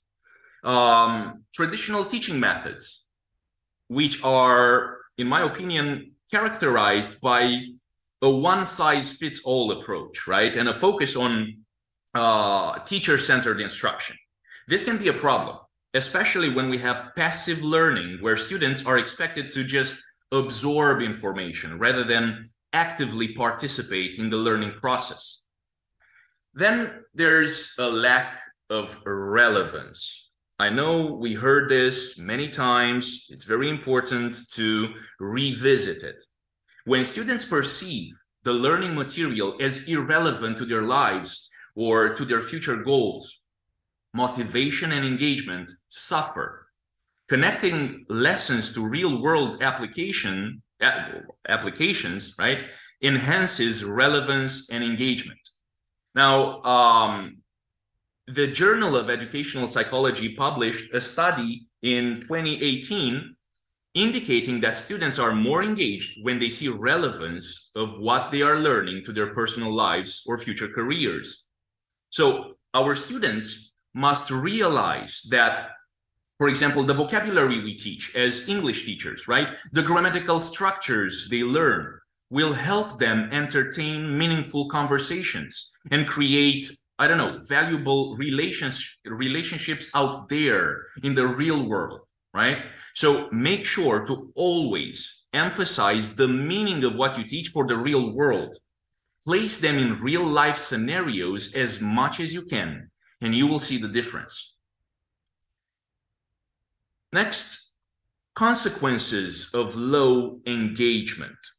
Here are some points that we should take into consideration when it comes to this, okay? What are some of the very serious consequences? Academic underperformance. Engaged students are more likely to actively participate in class. They are more likely to complete assignments and perform well on assessments. Low engagement correlates with academic under uh, okay, and lower grades. Now, low engagement also often results in a lack of enthusiasm for learning. Students who are not engaged become I don't know, apathetic. They become disinterested or disengaged from educational processes, right? How can you ever be a good citizen, a decent human being without a love for learning? Then we have this long-term effects problem on career and well-being. When you have a pattern of disengagement in school, this can have long-term consequences, affecting your career opportunities and overall well-being. Lack of motivation and interest may hinder the development of crucial skills needed in the professional world. Now, this means basically that our students may not be able to get proper jobs in order to just live happy lives.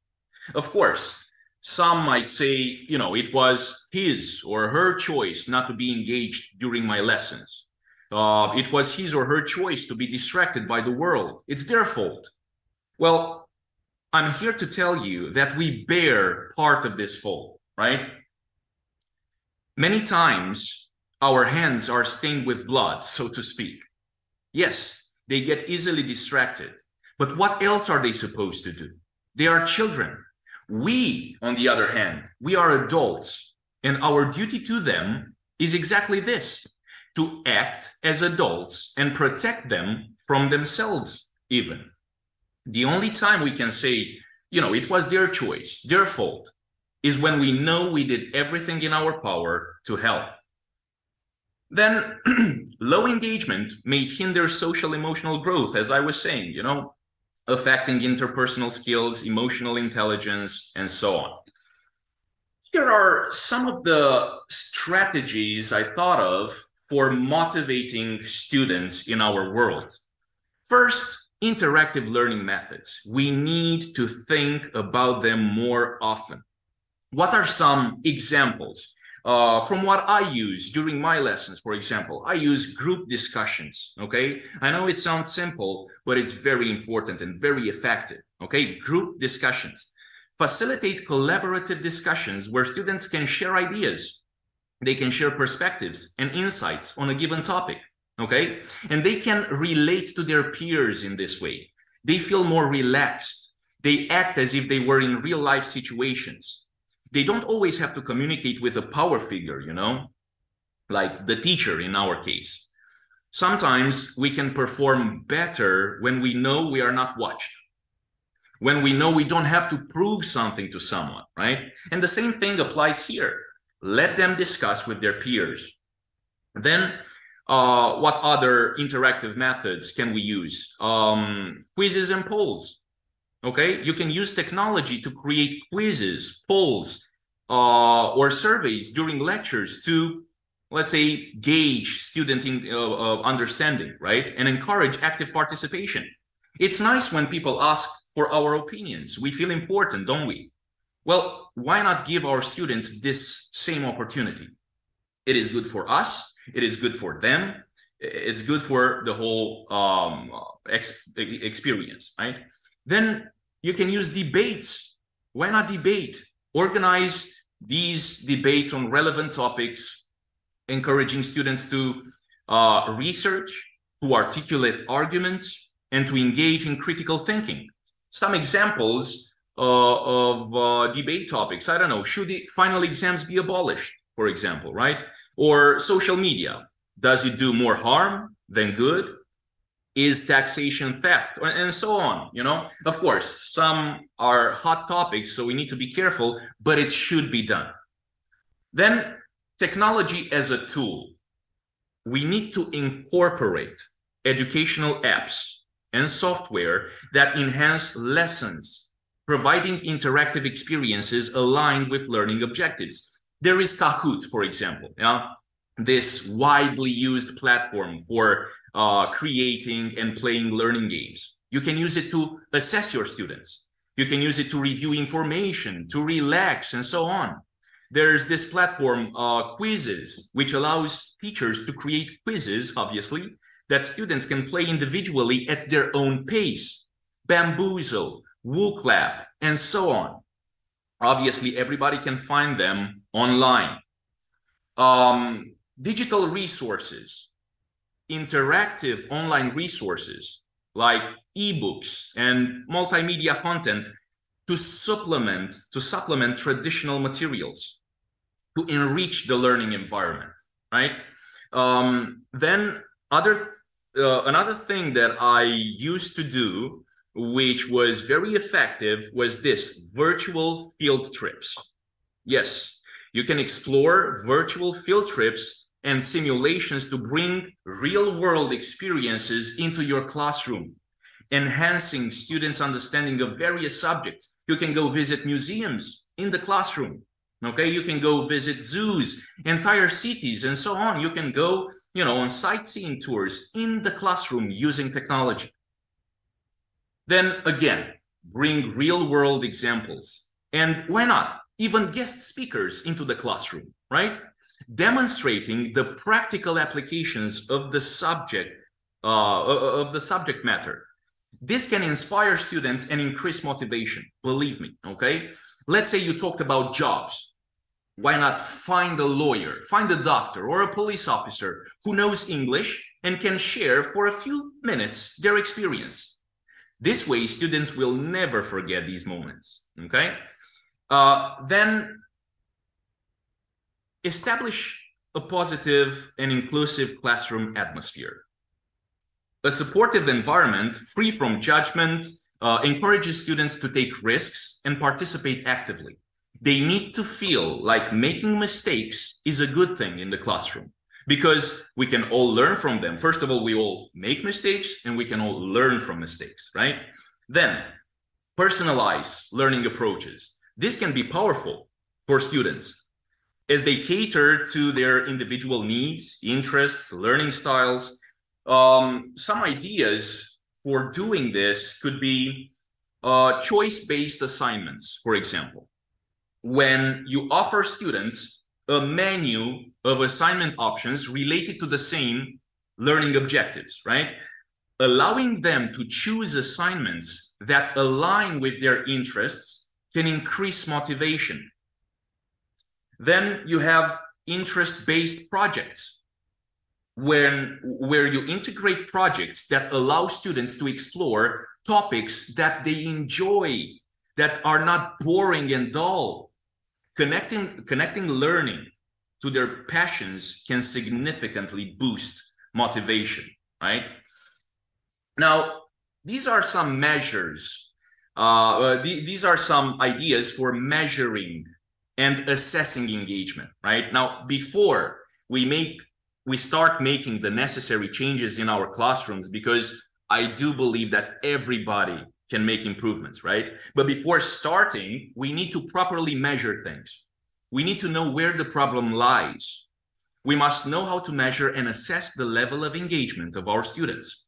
Some good ways of doing this include surveys and questionnaires right um, use student surveys to gather feedback on their level of interests, uh, on their involvement, satisfaction with the learning experience. Okay, you can do this at the end of the week. You can do this at the end of the semester, etc. Um, you can do it so that their ans answers are anonymous, so that they feel safe. Okay, to uh, give honest responses. Classroom observations. I know this is a very common sense thing to do, but we should conduct regular observations to assess students' participation, interaction, and overall engagement during our um, class activities, and be intentional about this. Then we can incorporate peer and self-assessment mechanisms to involve students in evaluating their own engagement and that of their peers, obviously, right? Um, I used participation logs where you keep records of individual student participation in class discussions group activities and other interactive elements okay? Uh, use a special notebook for this. It will uh, help you get a sense of what's happening in your classroom okay? It will keep you in charge in a real way. Then evaluate the quality and creativity of students assignments projects and presentations, okay? This can be an indirect measure of engagement. If you sense that their efforts were minimal when it comes to a certain project, then maybe you need to think of different subjects, topics, and so on. When people like something, they make an effort. Now, proactive approaches to overcoming challenges in students' engagement involve anticipating potential issues and implementing strategies to create a positive and interactive learning environment. Here are some uh, proactive measures, and I'm uh, you know going to move faster a little bit here. First, foster a positive teacher-student relationship. Greeting students warmly when they get to school. um, I don't know, showing a genuine interest, interest in their well-being and creating a supportive atmosphere can enhance in engagement.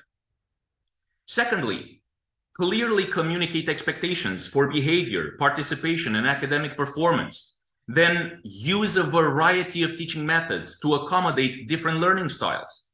Incorporate interactive activities, as I said, group work, multimedia, and so on. Then, and this is very important, set achievable yet challenging learning goals. Goals that are too easy can lead to boredom, while overly difficult goals may discourage students. So we need to find the right balance here, right? Then offer timely feedback on assignments and assessments. Construct constructive feedback helps students understand their strengths uh, and areas of improvement, so to speak, okay? Giving them a sense of continuous development. Then allow students to have some control over their learning experience, offering choices in projects, topics, assignments. And finally, celebrate achievements. This is crucial. Recognize and celebrate both small and significant achievements. Positive reinforcement motivates students and reinforces a sense of accomplishment. That's why we have ceremonies where our students receive diplomas, certificates, all sorts of prizes, right? We take photos with them, we praise them publicly. All these things do wonders when it comes to their uh, psychological development. And finally, at the end of my presentation, I want to say that the importance of collective efforts in overcoming the engagement crisis in education cannot be overstated. Here are some key reasons why collaboration and collective action are crucial. There's this shared responsibility. We are all responsible. Feeling responsible is the first step toward taking actions. Teachers, administrators, uh, parents, why not? The broader community, they all play a role in creating um, an engaging learning environment. Then different people bring diverse perspectives and insights, and we can all learn from each other. Then there's professional development, uh, resource optimization. Collaborative efforts enable the pooling of resources, both human and material, optimizing the potential for creating impactful interventions and support systems, right? Uh, and finally, you know, there's this modeling, um, this example issue, modeling collaboration for students. Demonstrating collaboration among adults sets a positive example for our students. They learn the value of teamwork. They learn the value of, you know, collective problem solving and community involvement by looking at us. We must never forget that we are examples and we are we must act accordingly, right?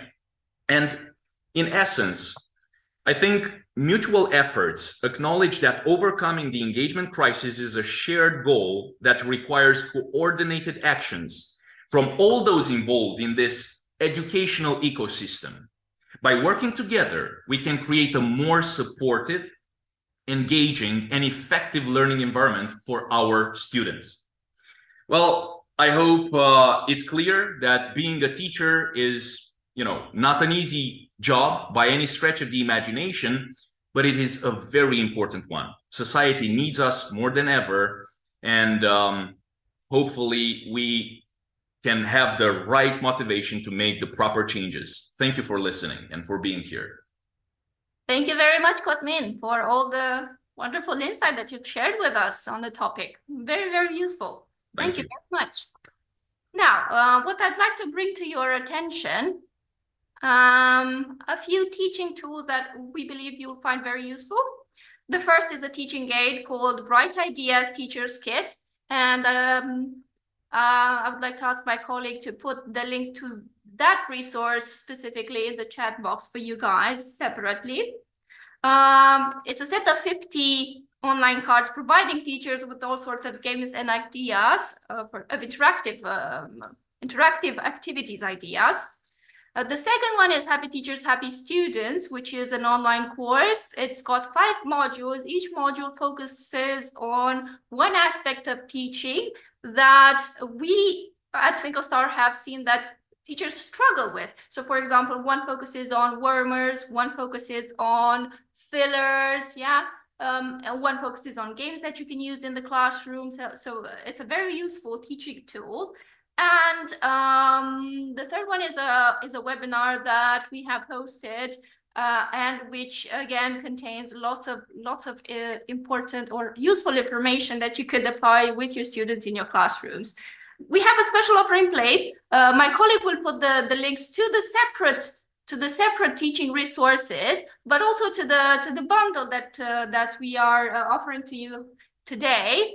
Um, you can get the the full package for at a reduced price as you can see you just need to use the the code which is shine 2024 but if i'm not mistaken it's with uh, capital letters so you you might want to try both of them yeah with capital letters or without if you want to purchase it and um get your uh, get your share of uh, it, useful information from uh, from here. We'll also include information about this in our follow-up email, so uh, should you like to uh, consult it afterwards. And um, yes, may it be a useful thing for you.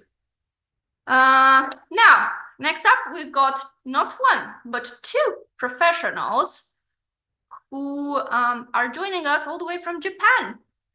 They are Matthew Turner and Robert J. Lowe.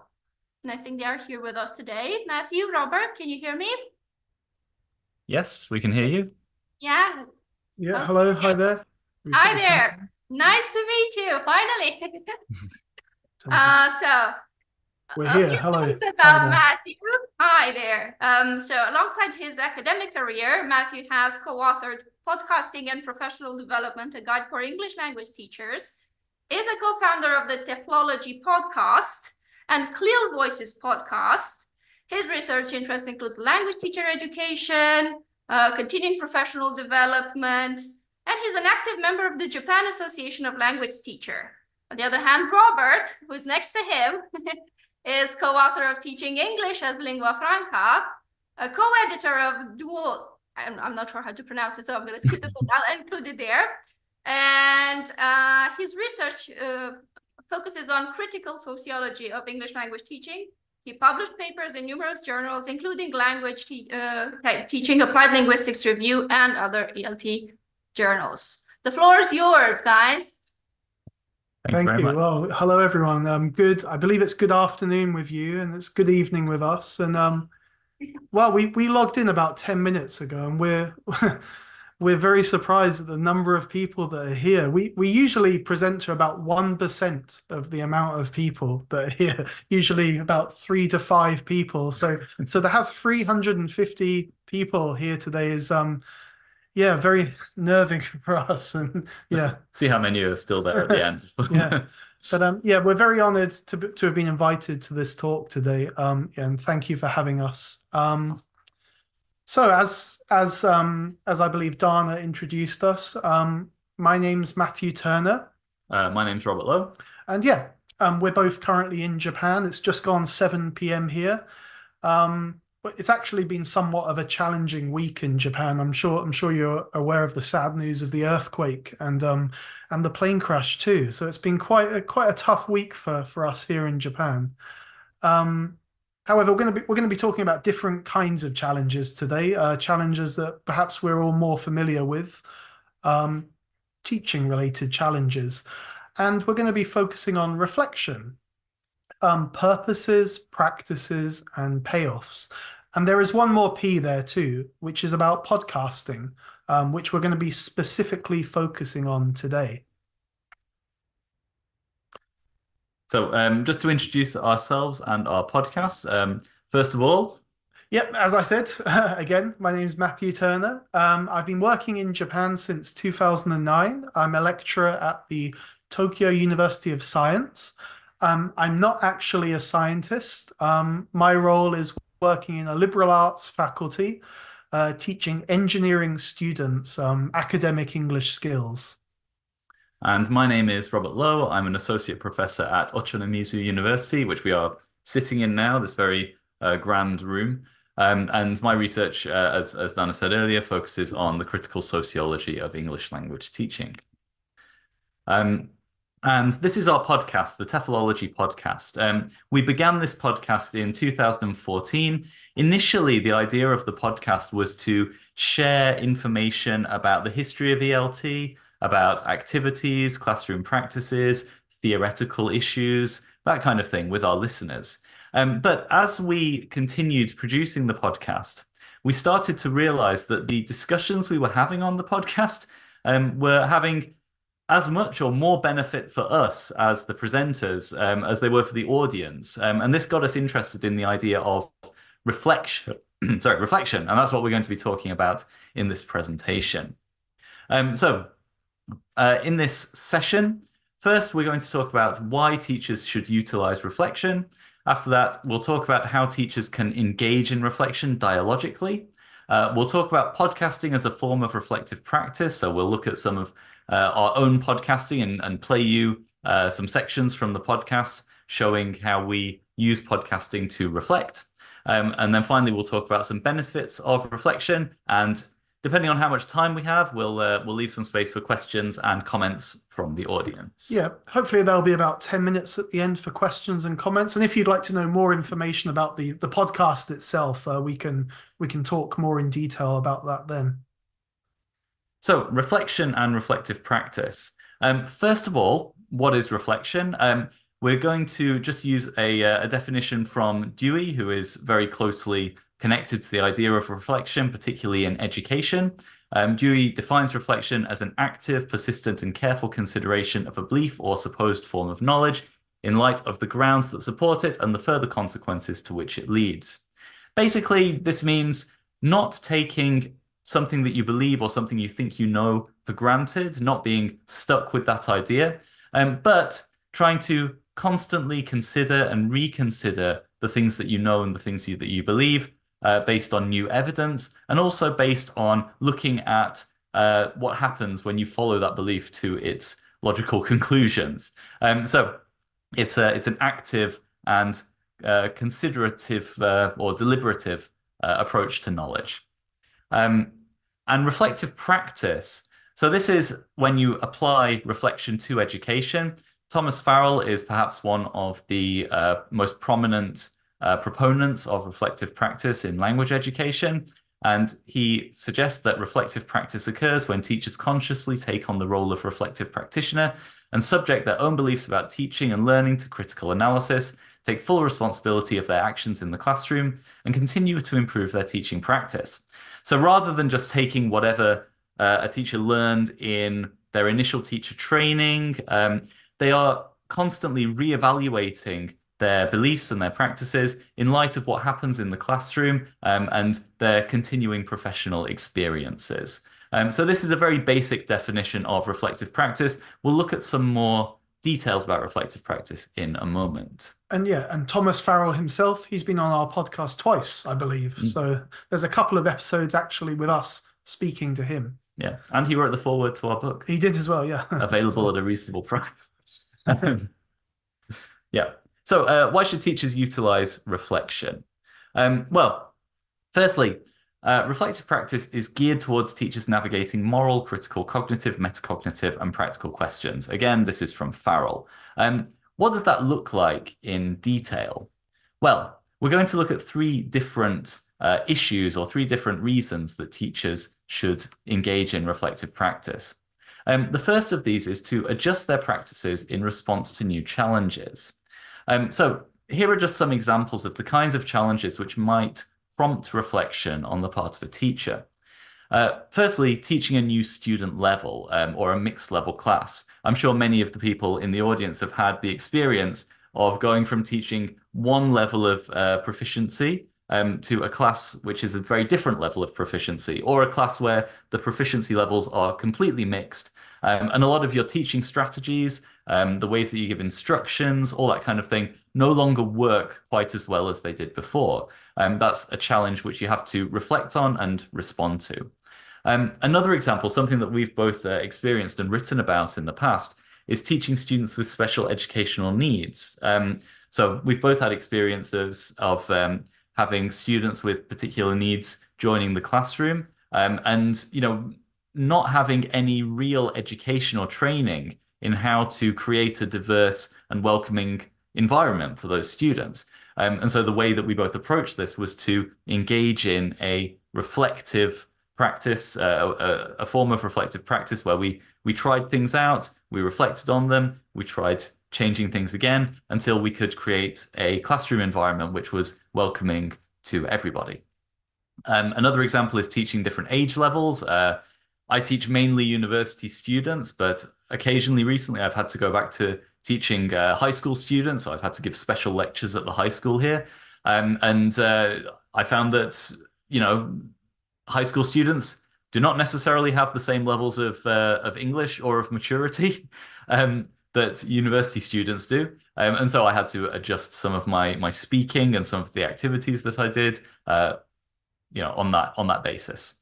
Um, and perhaps the most obvious uh, kind of challenge that teachers face is students being uninterested in class uh, or not finding the materials engaging. Uh, something that happens very often in Japan is students uh, falling asleep in the middle of classes.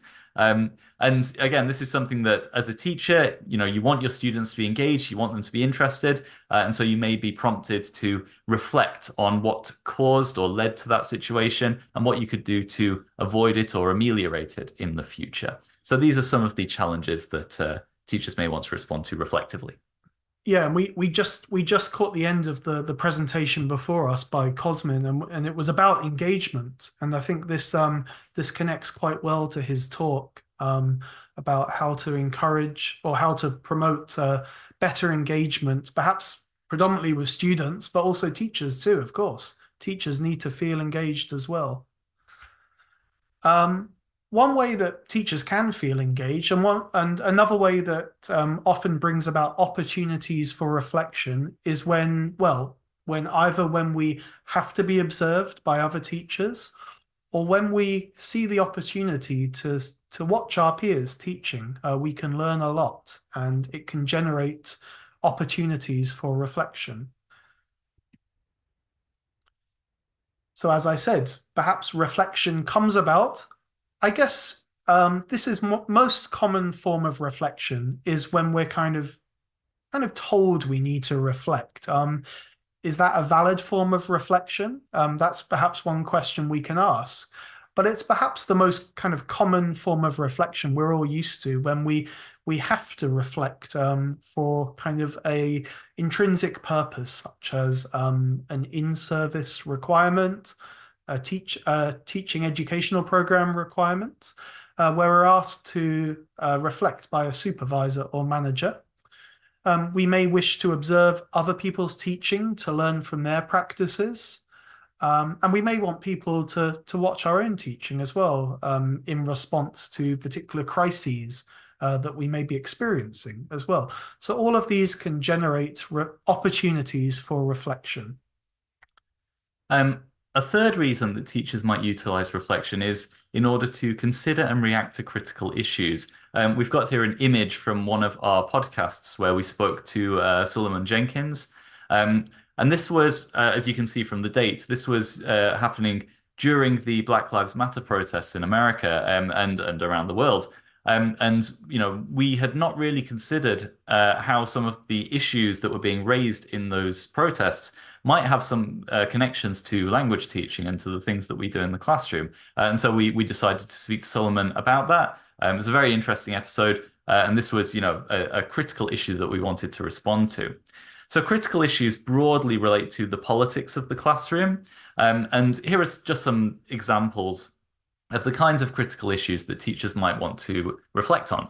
Um, so firstly, what models of English do we present in our classes? Um, are we just presenting American and British English, um, or are we thinking uh, about you know other types of English that the students may uh, encounter uh, in their lives as as language users? What cultural norms do we assume? Uh, are we using textbooks which show kind of middle class Western lifestyles? Um, and are those lifestyles the kinds of things which are relevant to the lives of our students? Um, what assumptions do we make about students' identities, backgrounds, sexualities, and things like that? For example, I, have I, I've had colleagues in the past who have uh, given activities to students which say things like, please discuss your ideal boyfriend. This in a, a, a, a women's university.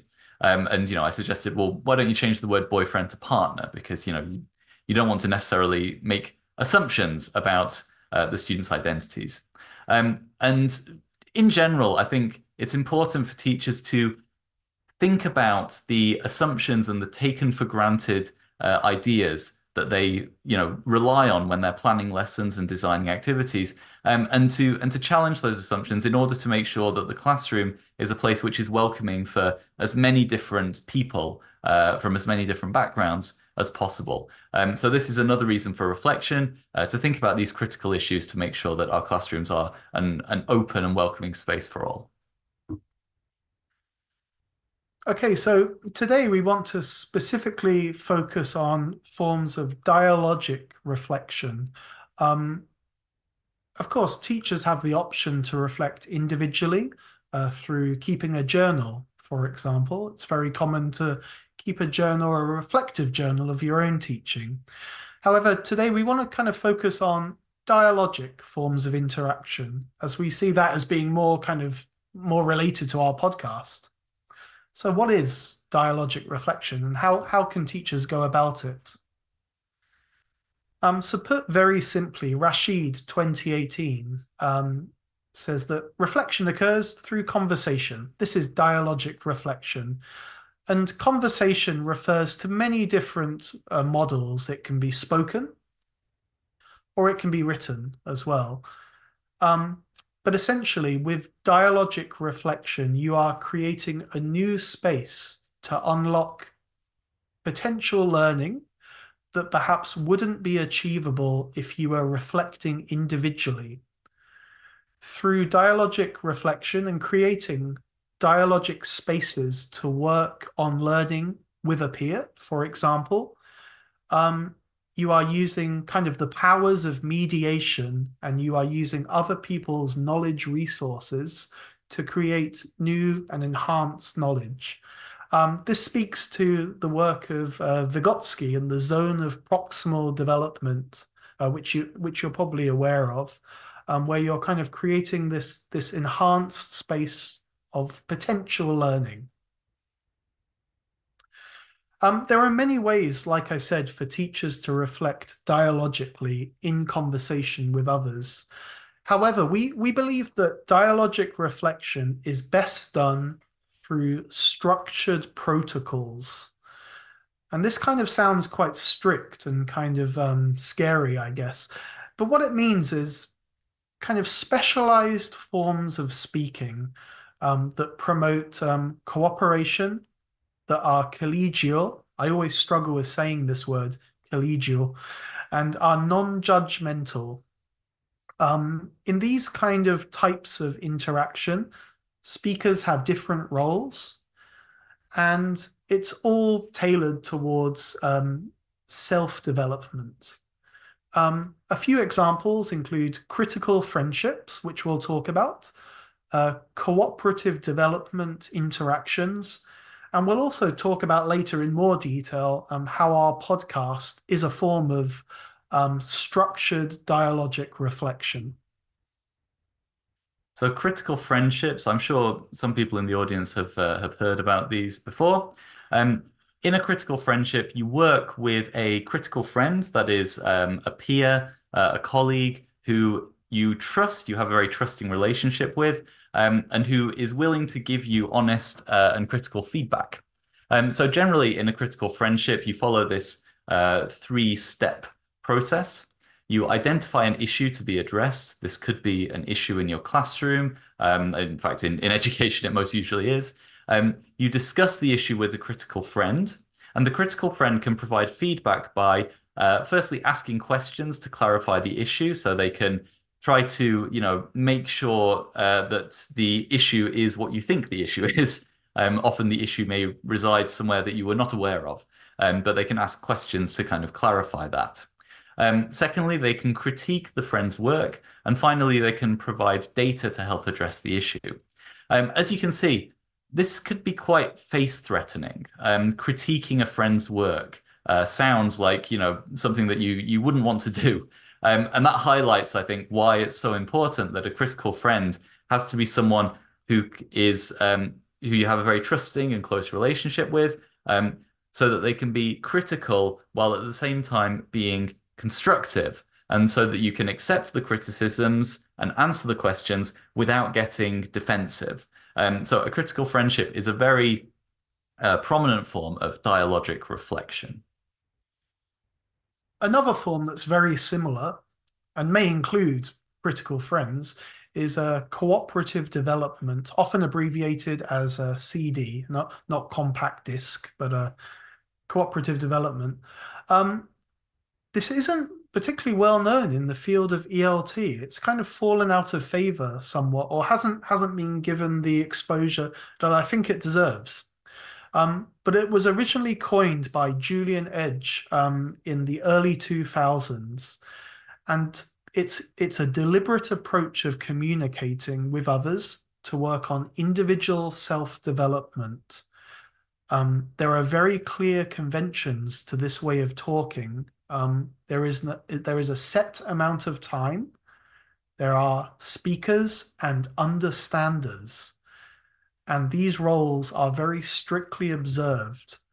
Um, cooperative development is a discourse framework um, where different skills are used to help the speaker, help the speaker. And these include challenging, focusing, reflecting, and there are many others as well. We'll show you an example of what that looks like now. Okay, so here, here is a piece of dialogue taken from some work by Steve Mann from 2008. Um, as you can see, we have Harry, who is the understander, and Ella, who is the speaker. So as you can see, Harry is trying to clarify uh, what Ella wants to articulate. So what you're saying is, if I've understood you correctly, if you watch, if we can carry on with this metaphor, okay, so prior to this, um, Ella was describing a metaphor related to her teaching experiences. And Harry's role here is to clarify and kind of take out all the not not take out but extract all of the important and essential information about what Ella wants to say. So Harry repeats the words driving it, driving it. And so he really focuses in on these these words within this this uh, larger metaphor. Um, so this is a form of dialogic reflection using metaphor in this particular example. Um, but as you can see, there are very clear roles. Um, Harry is not giving his opinion, his perspective. He's not giving unwanted advice. He is simply letting Ella uh, try to articulate what she wants to say. So our podcast um, we situate this as an in the wild activity. Um, what does this mean, in the wild reflection? Well, this is reflective practice or practices um, that are integrated into daily professional lives beyond teacher education programs. And this is a key point. Um, this isn't reflection that takes place within a teacher program, as I said before um, through a supervisor requiring it. Um, this is reflection that takes place. So I've got a hand up there, but I'll continue for the time being. Um, this is reflection that takes place um, independently of an institution. Um, it's bottom up, and it's usually done for intrinsic or extrinsic purposes. Uh, it can be evidence led, protocol based. You can follow a strict protocol uh, like we just introduced, or it can be ad hoc. It can be very informal, taking place in a staff room or taking place on the train or, or taking place in a pub. Um, reflection happens everywhere in the wild and it's independent and bottom up and it's self-sustaining uh, from the practitioners themselves. So we situate our podcast as being an in the wild activity. So podcasting, uh, as we've said, is is a form of reflective practice for us, and we'd like to talk about this and give some examples um, and give a particular example from the podcast. Um, so is this me? Okay, yeah. it's me again. Um, yeah, so over the years, we've um, so the podcast started out as something we made as a hobby. However, in over the past five years or so, we've started kind of trying to conceptualize it a lot more formally and kind of view it as a as a as a research endeavor as well, as well as a, a reflective endeavor. So we've come to view podcasting as a reflective medium.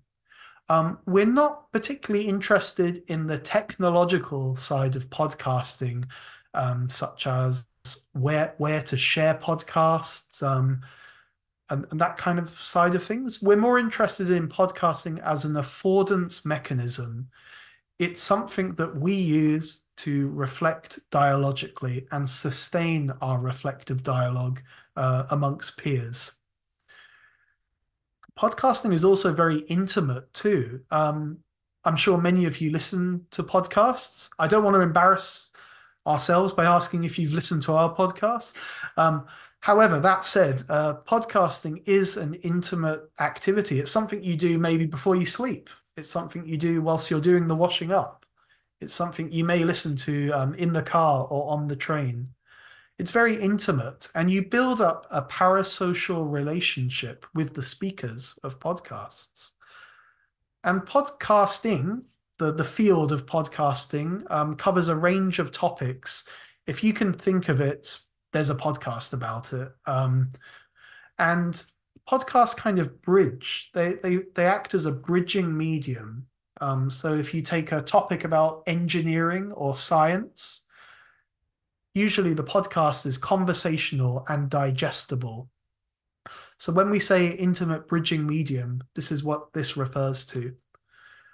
It's also an idiosyncratic form of speaking. Um, arguably, the way that people speak on podcasts are different to how you perhaps reflect um, in a school with a supervisor or a manager. Um, it blends the performativity, speaking for an audience, and it's also private as well. You're you're making conversations with your colleagues with your peers in a room together. So it kind of blends these elements together which we'll talk about uh, next. Uh, finally it's also multimodal um, from podcasts. You can produce scripts. You can produce textual kind of aids and materials. Um, podcasts are are predominantly oral. You listen to podcasts and they are temporal as well. You can pause, you can go back, you can listen two years later. They always kind of exist. And they also help you to reflect even after the event as well. So we've come, like I said, over the years, we started out very informally with podcasting However, these days we kind of realize that our podcast is not just a recording we make and we put out on the internet. Um, it's part of a larger reflective ecosystem. Um, so what happens first is when we when we're going to produce an episode, we bring in our identities as hosts, our experiences, our beliefs, our existing knowledge. We bring all of that to the table. We then prepare for episodes. We do this together dialogically. There's there's one more of us as well, by the way, who's not here today. Um, all of this goes into the production of a of a podcast of of a of a piece of audio that we sit down and produce together. Upon completing an episode, um, there is an effect on the participants, on ourselves. Uh, we go away, we think about what we said, or what we didn't say or what others said or how we say things differently. We think about our practice. Um, we also, the guests that we invite on as well, they also think too and reflect on, on taking part in our podcast. There's also an effect on the audience as well, and it becomes a, a resource in the field. Um, this sometimes generates feedback. We get we get comments um, on social media, for example, or we get emails, and this feeds back into our preparation. Um, so you can kind of see how everything is kind of interconnected into this uh, larger reflective ecosystem. Um, And again, this doesn't just have to be about a podcast. You can use this kind of ecosystem for your own reflective activities.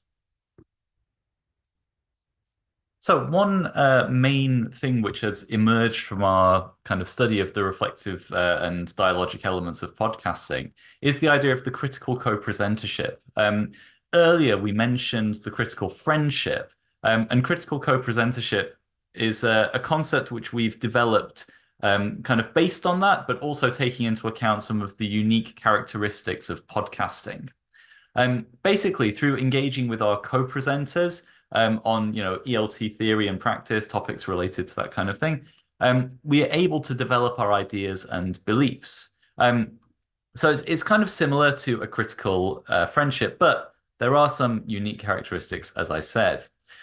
The main uh, characteristic, I guess, is that critical co-presenterships are public-facing and performative. Um, when you're on a podcast, you are performing for an audience and you're aware that people are going to be listening to what you're saying. So there's an element in which perhaps you're not quite as open and quite as honest as you might be when you're speaking to only one person. Um, so that's that's maybe one kind of disadvantage of a critical co-presentership as compared to a critical friendship. But there are also some advantages. Firstly, in a critical co-presentership, when you are listening to your co-presenter, you're playing the role of the audience. Um, so you're not just listening and asking questions um, for your own sake or for the sake of your partner, you're also trying to anticipate what the audience would want to know and what the audience might not understand or what they would want clarifications about. Um, and so playing the role of the audience prompts critical questioning that you perhaps wouldn't get in other types of dialogic reflection. Secondly, podcasts are kind of limited in time. I mean, I guess, you know, technically you can have a 10 hour long podcast, but who's going to listen to that? Probably these days, a lot of people would. But um, when when most people make podcasts, they try to limit them to you know 30, 40 minutes, an hour maybe. Um, and this means there is uh, there there has to be an end point to each discussion in the podcast. Um, and so when you're having these discussions with your critical co-presenters, you are trying to find a resolution um, to the discussion. You're trying to find a natural end point.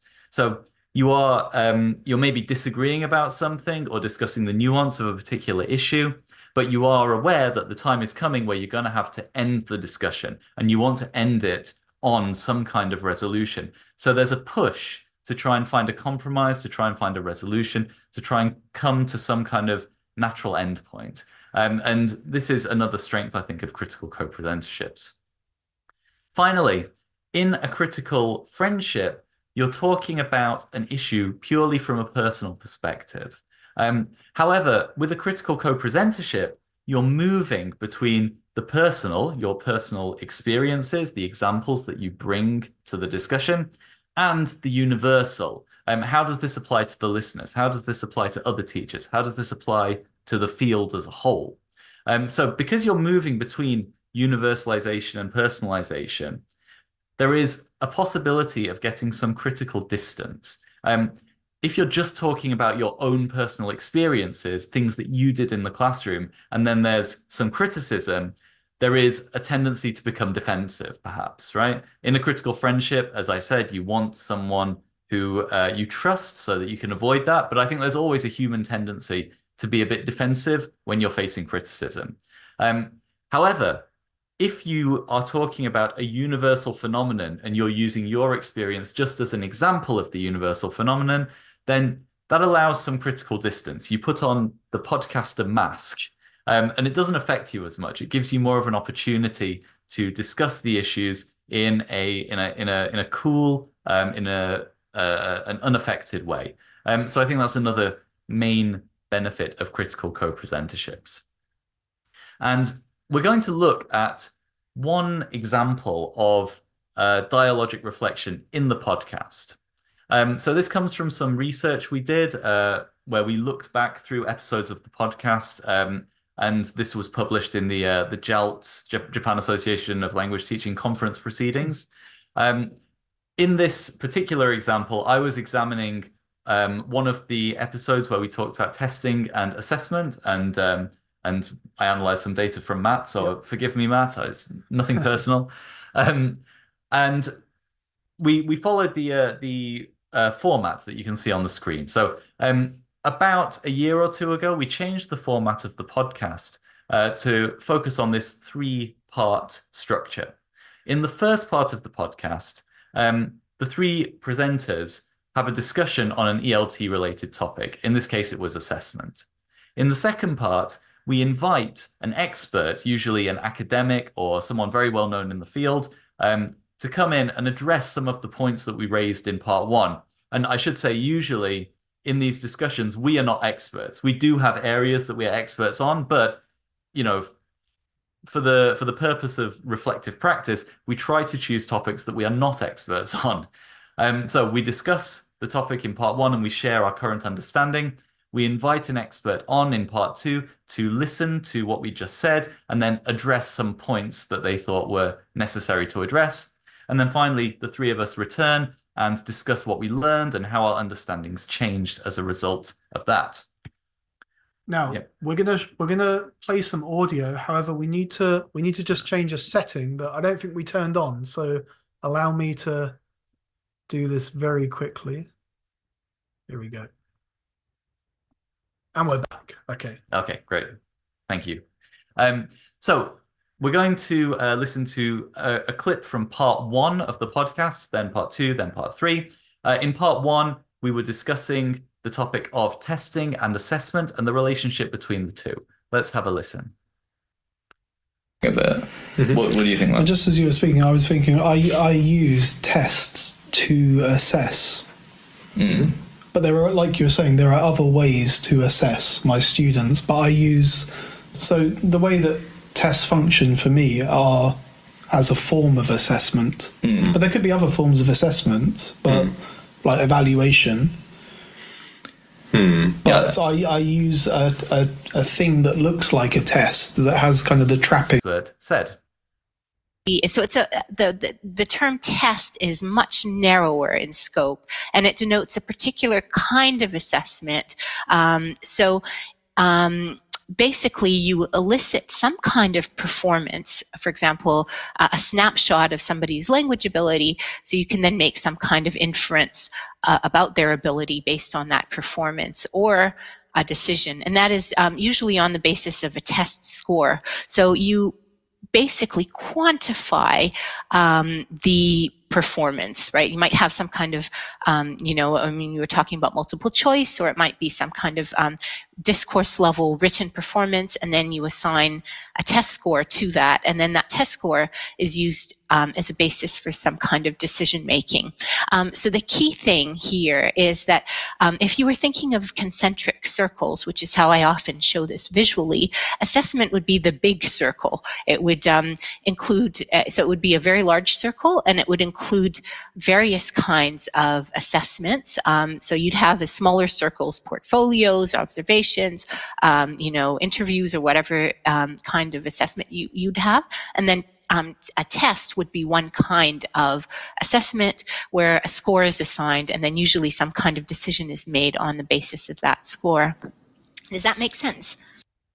So here, our expert came in and explained that testing is a form or a part of assessment, but if you think of a Venn diagram, you have assessment as the, the large circle, and testing is just one specific element of assessment.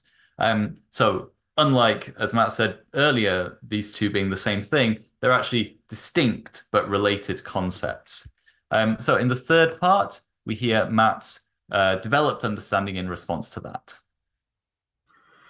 Yeah, I think mm. she mentioned like that, it, like a performance, like a quantifiable performance, it, it elicits a score, which goes on to, which leads to a decision of some sort. I think mm. that was hmm. something that she said. So yeah, I wonder. I wonder if that decision is a a decision on a grade or a decision on like a feedback point. Like I, I think it can be both, maybe. Yeah, I mean, I guess the idea of, of a very base definition means that assessment it's sort of a wild enough, wide enough field that obviously there is different, a lot of different things you can do with it. Yeah, yeah. Yeah, and that and for me, still, I'm still kind of torn between that. Am I, am I testing just for a grade, or am I, am I trying to um, produce some sort of portfolio um, of of what they can achieve, what what what what my students can do, um, and I think I'm still using tests as a way to decide a grade still. Mm. Um, which I, I don't know if that's necessarily the wrong wrong thing to do, but I don't think I'm fully utilizing them. Perhaps. Okay, so in that clip, you can see um, that Matt's understanding of the relation between testing and assessment had developed, it had changed, and he'd perhaps come to an understanding that he was overusing tests in decision making, and he could be using other elements of assessment. So here in this three-part structure, you see how dialogue with uh, with us and with the expert uh, led to a change in Matt's understanding. Yeah, and I'm still very confused about testing and assessment. Um, but I have I have a refined understanding now, so a, a, little more understanding of what what this is. Um, so finally, we want to kind of come on with some practical suggestions for you um, about the benefits of dialogic reflection. Um, so for us, firstly, for us, um, uh, reflection has brought refreshed understanding of practice, whether that be about assessment uh, or testing or any other topics um, that, that relate to our profession. Um, we appreciate and, and, understand the context that we work in a lot more, the, the colleagues we work with, the, the students we teach. And that's all come about through um, the podcast has given us that opportunity to reflect critically and we've learned from others. I've learned from Rob. I've learned from my other colleagues. I've learned from our guests um, through through the process of making podcasts. I've I've taken on their knowledge and we've created new knowledge together.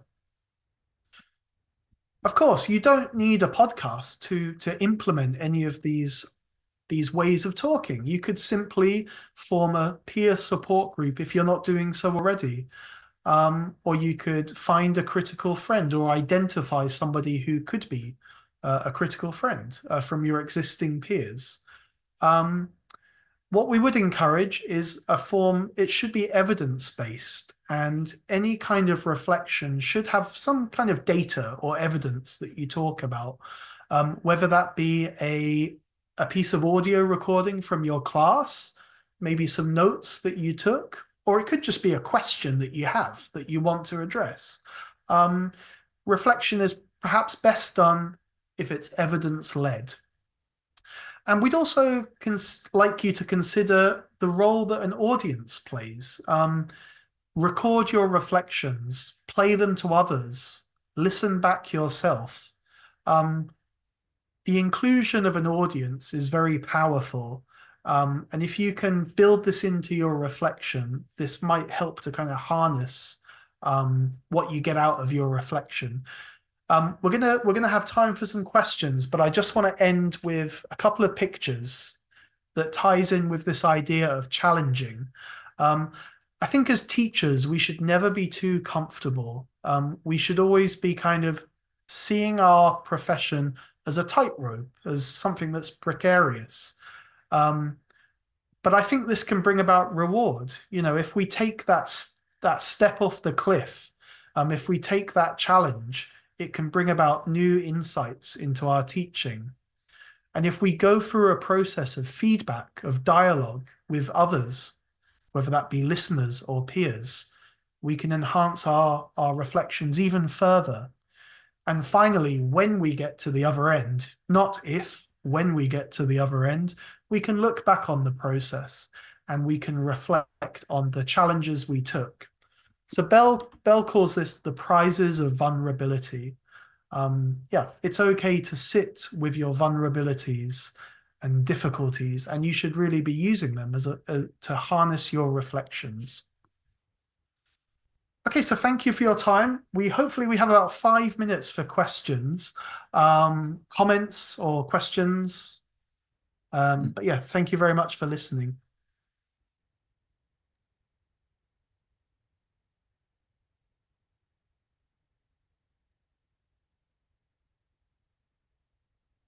Should we stop sharing our screen maybe and then we can see the, the mm -hmm. whole okay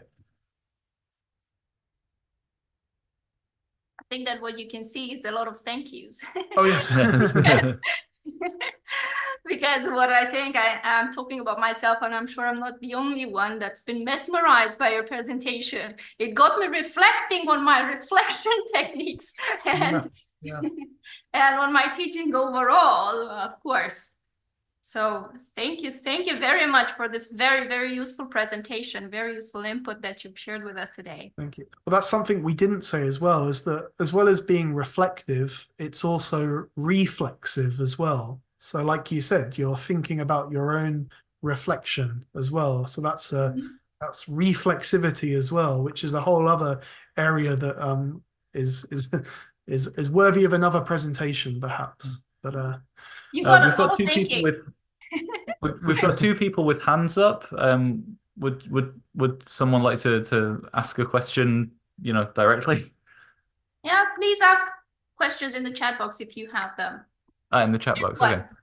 There is Uh, one. well, one question is uh, how do you deal with colleagues that do not want to accept that somebody knows more than them and work towards change? Well, as somebody who doesn't like to accept that somebody knows more than them, um, I uh, I think it's it's just really important to approach reflection with the right mindset. Um, if if somebody uh, is not willing to you know accept that somebody could know more than them or that they could um, you know benefit from discussing ideas with someone else, then there's there's not really a lot that you can do.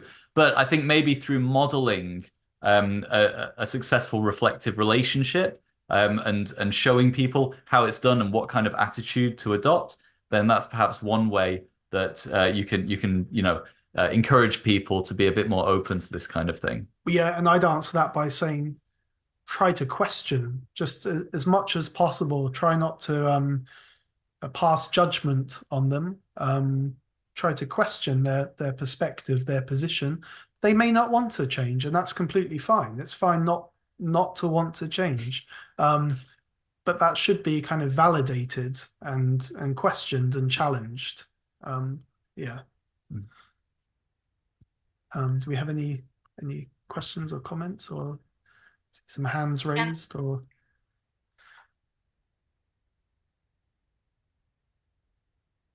Lots of Yeah. thank yous. You got us all mesmerized during the presentation, and now it's time for us to react to it. Uh, yeah. yeah Thank you. improvement rather than change yeah so i guess semantically they're very they're very different things um what i'm what i'm very careful on when i talk about reflection is reflection doesn't always lead to better like that idea of better teaching. I'm i'm really careful of not using that word in my writing because yeah it's not it's not a case of going from point 1 to point 10 and that kind of linear upwards direction. It's more kind of you're expanding your knowledge being being expansive. So um yeah that's interesting change and improvement and yeah that's an interesting distinction Yeah, you, you went through the slides that I made earlier and, and changed the word improvement to change. yeah So, yeah yeah. or even we disagree ourselves yeah yeah um as Robert said, we, we haven't made a podcast for about a year now due to various reasons. However, um, we will return, um, but we have about 10 years worth of episodes there if you do want to take a listen. But we're not advertising.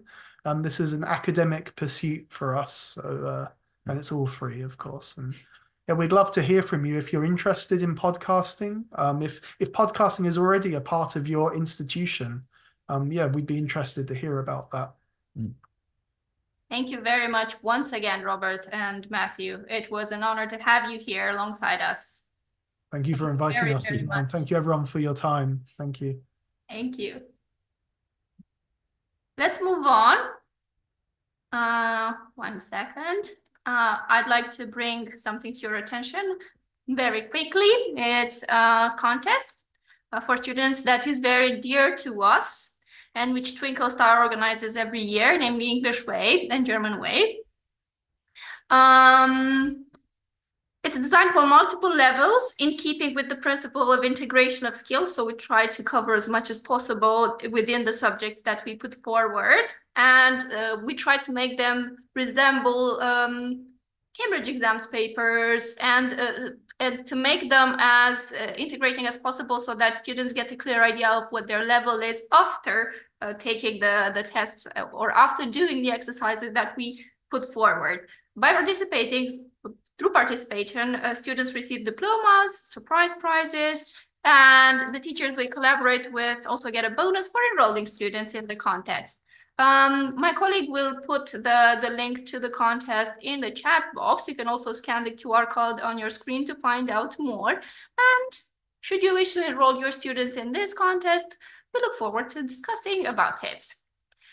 Uh, now that we've uh, covered that, we have yet another speaker prepared to share some information, some insights uh, with us today, namely uh, Mirela Ursu. She's an English teacher uh, at Ștefan Bârșănescu School in Iași. She, and since graduating, she has been all about teaching English in fun and innovative ways. Those who know her, the people who know her, know that it's a it's a thing for her to do things this way. She has successfully mixed the rigors of preparing students for Cambridge exams with the use of digital resources and engaging activities throughout her career. She's a firm believer that the magic of learning really happens when teachers and students click. Passionate about making every student feel like they can conquer and challenge uh, any obstacle uh, in their learning journey. Mirela? very much, Tom.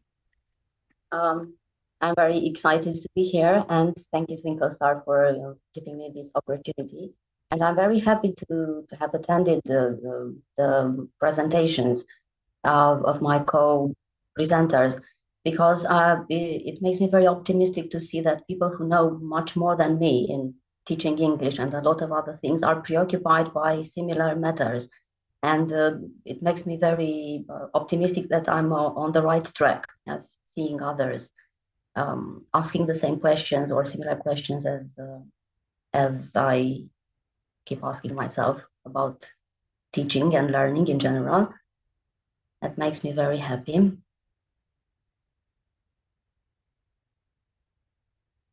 Okay. Um, the topic of, of this executive, uh, can you, is it clear, my presentation? Is it on? Now it is. Sana? Okay, thank you. Um, I have always been preoccupied by uh, the gap between what I uh, what I believed my students would cap were capable of and could achieve and their actual achievements because not all of, uh, of the students I work with um, managed to achieve what I believed was their potential, not necessarily in English. And I, it, it was something that was always on my mind. Why? Why do some some kids do so well in school, even if they're not uh, particularly talented for a subject or particularly creative? and others who I believed were more um, more talented, more creative, um, even brighter in general, um, didn't manage to to succeed. And I'd like you, if you want, to write in chat what do you think it is besides intellectual abilities that makes some students achieve very good results and others not so much if you like to share your thoughts.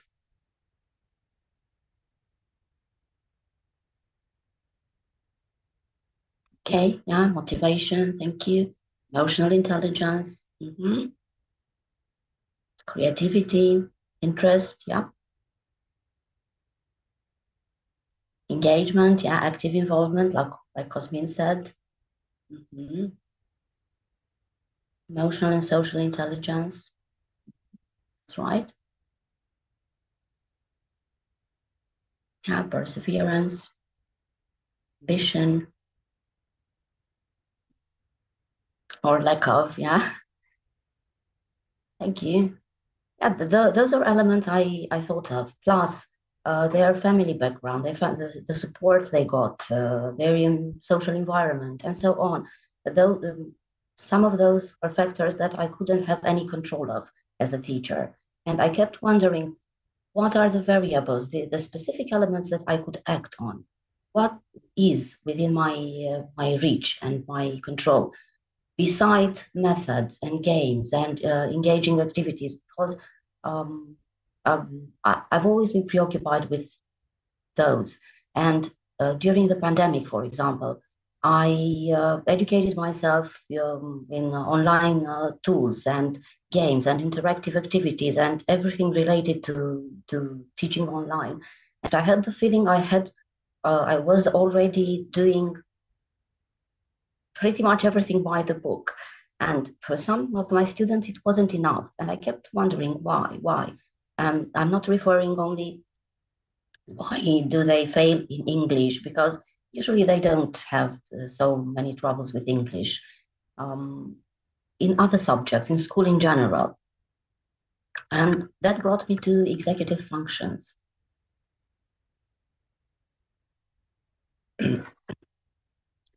which research shows are better predictors of success than IQ and creativity and talent. It, I was surprised to find that out. There are some definitions here. Executive function represents the ability to consciously control our thoughts, emotions, and actions in order to achieve goals. And another definition that I think is more um, easy to understand for, for kids is like the conductor of the orchestra, a single person who controls everything happening in that orchestra. So basically, executive function means our ability to direct all our internal resources toward a certain goal, toward some some activity. And they uh, strong executive functions are predictors not only of school success but of success in general, better health, better uh, relationship, um, finances, a better life in general. And that is why I consider they deserve some attention from us as teachers. There are quite a few of them. Some of them I was aware of um, that they are important or they, they had the, this name, like time management, for example. Some of them not so much. And they are response inhibition, the ability to think before acting, not acting on impulse, working memory, holding information in memory while performing complex tasks, emotional control, which some of you mentioned, yeah, emotional control, emotional intelligence, um, being able to to manage our emotion and use them, not let them derail us in certain situations. Flexibility, the ability to change and adapt, to see some things from many more than one perspective sustained attention, paying attention even if you're tired, bored, or not interested. And as Cosmin said, this is quite difficult in this age. Now, there are many factors that impact our attention. Task initiation, beginning projects and tasks in a timely fashion. I was surprised to, to find, out, find out that this is an issue. I, I wasn't aware that some people might have trouble um, actually starting to do what they need to do planning and prioritizing, creating a roadmap to reach a goal, mm, seeing what's relevant, what's not, what the steps are toward a certain goal, organization, creating and maintaining systems to keep track of information on materials, time management, having a sense that time is important and using time in our favor, yeah? Mm, being able to be on time, to follow deadlines, to, to, to have a precise sense of how time passes. And goal-directed persistence, particularly important in long-term endeavors like preparing for exams or long projects and so on.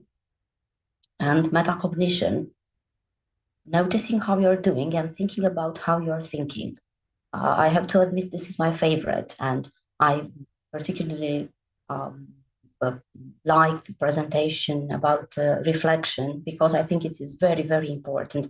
I'm not not sure if it's the most important um, executive function, but without decent metacognition skills, it's very difficult for us to uh, to see how we're doing, where the issues are, how to improve the way we do things or we think. I think it is a very important skill to to develop. Uh, for ourselves and for our students.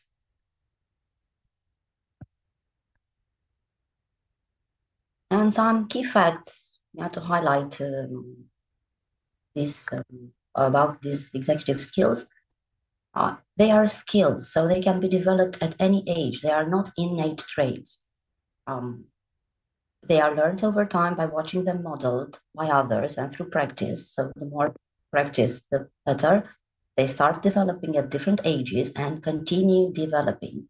This also makes me very optimistic about uh, about uh, them because we can improve them at any age. They develop at different paces. Each person has different strengths and weaknesses, so it's normal for a person to to have strong organizational skills and I don't know maybe a weaker work memory, for example. And the actual capacity to use them in specific context varies. Um, familiarity, experience, how interested we are in a certain context of, or topic. Um, that's why many times some uh, a maths a teacher might have a very different opinion on uh, on a student's um, performance or than the English teacher, for example. Yeah, they might behave like different people in various uh, contexts or subjects. There are some factors that can impact negatively this executive function development, like genetic predispositions, such as temperament. Somebody who's more impatient by nature will find it more difficult to sustain attention, for example, or to inhibit the, their impulses. The stage in development, they do not fully mature until our mid 20s. Modern life, with all the attractions and instant gratification and media, it's not very helpful for, for the development of, of these functions. Of course, learning disabilities, students with learning disabilities have extra challenges in some of, of these functions and they might need more intervention, more professional interventions to support them, and adverse childhood experiences, high levels of stress occurring for a long period of time during childhood. That could be anything uh, ranging from loss of a parent or um, social um, background that's not very supportive, or household dysfunction. It doesn't necessarily have to be something very dramatic over long periods of time, instability and um, troubles at home can impact very much the development of, of these uh, functions and of cognitive skills in general, which of course makes these students more vulnerable when it comes to learning and only in school related contexts. The positive side, of course, is that there are enough factors that can uh, contribute positively to, to for the development of these skills. First and foremost, safe home and school environment, and supportive relationships, significant adults with strong executive skills.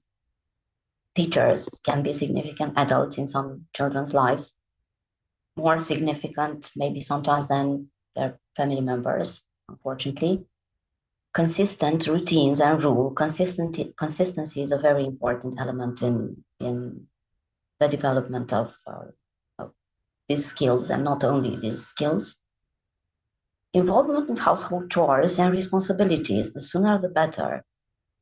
The research shows it is very important. Yeah, it's not necessarily our concerns as teachers, but we can recommend parents. I, have noticed in my students in middle school, it is very obvious uh, that those who are not um, involved in activities that don't have responsibilities at home um, tend to be more passive, more disorganized, um, have a more disengaged attitude toward many other things.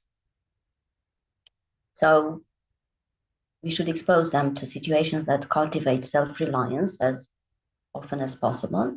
And if needed, for some students that need extra support, tools and strategies that enhance self-awareness and autonomy, depending on how much how much they need these tools and strategies. And what do we normally see in class?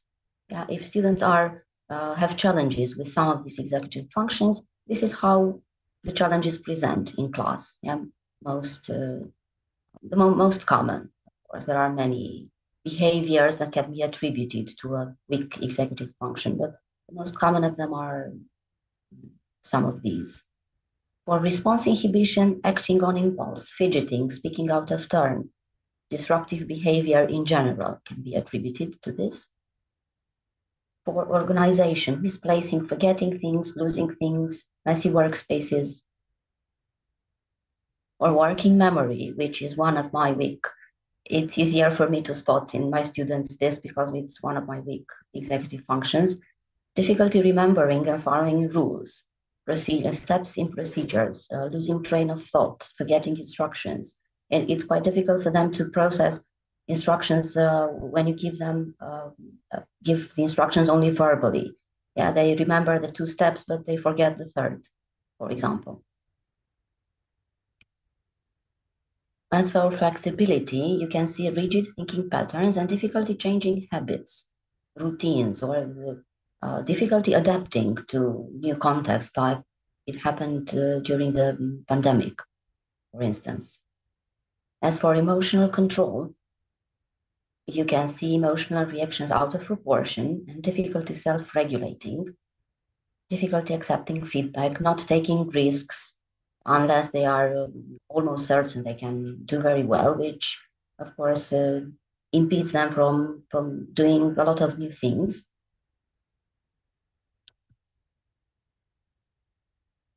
With attention, you notice easily distracted kids that they can't process multiple types of information or instructions at once, miss out details, and you know they are very good at English. They uh, write very well, but their writing is messy, their handwriting is messy in some situations, and the page looks um, messy too. Because they focus on the content, but they can't focus so much on the form sometimes. With task initiation, difficulty getting started. I, I have students that when I give instruction, let's open the instructions, let's open the page at the, the book, sorry, at page 20, for example, and let's start doing the exercise five. They just sit and look, look at me, look around. And uh, it always uh, um, puzzles me. What are you waiting for? Is, don't you know the page? What's the problem? But it's more difficult for them to actually uh, open the book, take on the pen, start writing. With planning and prioritizing, you see uh, students who, who fail to see what's relevant for a certain situation or get stuck in minor on uh, minor details on um, they don't know what to do next. They, they need more support in in um, i don't know in, in um, every step of a longer task or a more complex task time management obviously students are often late, miss deadlines, don't finish tests on time. They don't have a, a very precise perception of how time passes. Goal-directed persistent, some of them get easily discouraged, have difficulties in finishing tasks or long-term projects. And this is very important for um, for preparing for exams or um, preparing for a something that might take a few weeks, for example. Yeah, they don't do very well on, on these kinds of um, these kinds of projects or tasks.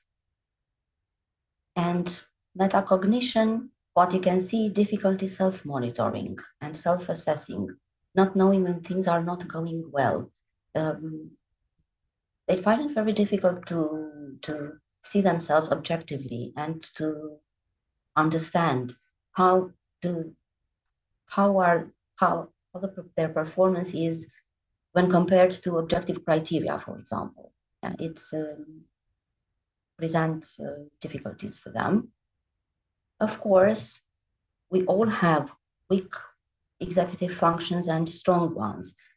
With enough strong executive functions, we can manage com to compensate or to use those strong executive functions and to improve the weak ones. Um, the problem is when there are many of them that are weak and the students do not receive proper support. That's when um, when disengagement appears, uh, they start being demotivated, that they start feeling that it's too difficult or it's too much. They can't handle the complexity of school. And this is one of the reasons that some students just at some point just give up on themselves on as learners. And what I'd like you to do to write in chat is which of these um, issues, let's say difficulties, do you see more, most often in your uh, in your students, or which do you think contribute more to their difficulties with school in general?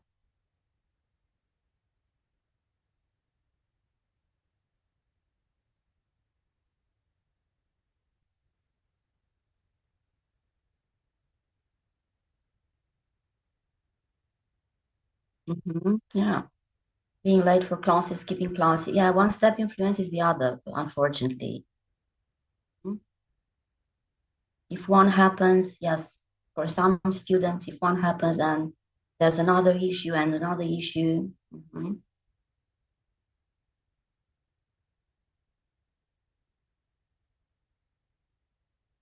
And they get more and more discouraged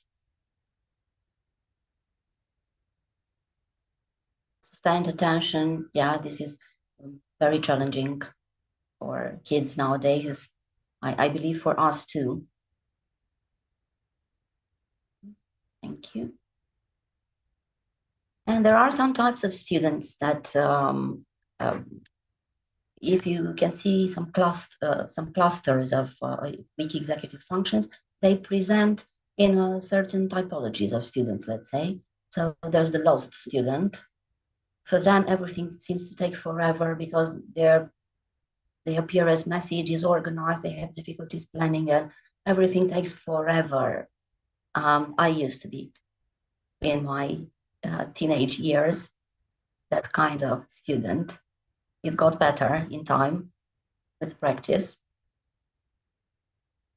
The lazy student, um, some, most of the times we, we we keep asking ourselves, what, what's wrong with them? Why are they like this? Nothing seems to engage them, to interest them, no matter how fun, how interesting, how motivating, how um, mm, the, the, materials uh, personalized uh, according to their interests. There are some students uh, that um, have this air of uh, everything is very hard. You know, life in, in general feels very hard for them. It, it's a real issue for, some students. And the last typology, the most unfortunate one, I think, the leaky student. It's that kind of student that uh, seems angry at everyone and everyone is angry at him or her because they have a combination of uh, executive functions that makes them particularly challenging. So they have um, difficulties with response inhibition, sustained attention, with self-regulation, they are very emotional. They have um, outbursts of emotions, and um, they are the ones that need, more, the most support. But many of them are. I don't think they um, they get the, the necessary support. Maybe because lack of information. I don't know, lack of resources in school, and they um, would benefit the most from specialized intervention from the school counseling counselor and so on most neurodivergent students have these kind of challenges, not only them, but you can see these kind of challenges uh, even uh, more um, manifesting more intensely, especially in, this kind of students. And they were in my, from what I noticed during the pandemic, they were the category that um, were the most impacted by, by what happened. and long-term consequences basically we they, they get labeled. Yeah we can't help you if even if we don't use these words in relationship to them. They feel they they their parents use these words um, and they get uh, they get to to believe these things about themselves. And the problem is not only what happens in school and how this impacts their school results is they, they carry these labels outside school. Uh, after they, they finish their education. And it's quite difficult for them to, to have a good, happy, productive life, yeah, to support themselves financially. Some of them don't even finish high school, for example, not to mention going to university. I mean, the, uh, the most vulnerable ones, they don't even finish their, yeah, their high school education, which I, I believe it's a pity. And of course, we can't we can't find a solution for every problem they have. But what we can do is to intervene on some sorry to to do some things that might help them develop these um, these skills. sorry. First of all, what we already do. Uh, if we do classroom management, efficient classroom management, if we implement some um, um, sitting plans, expect clear expectations and consequences, routines, if we use uh, visual organizers and timetables, and if we teach them how to use these uh, time, to, how to work with a timetable, with a, a reminding a reminder system, with a visual organizer, and so on, so to actually help them use these instruments, and also, uh, we use learning platforms and we teach them how to use them too. Because on a learning platform like Google Classroom, for example, you have everything in the same place. Yeah, all it pretty much solves uh, your uh, problem with uh, organizing materials with deadlines.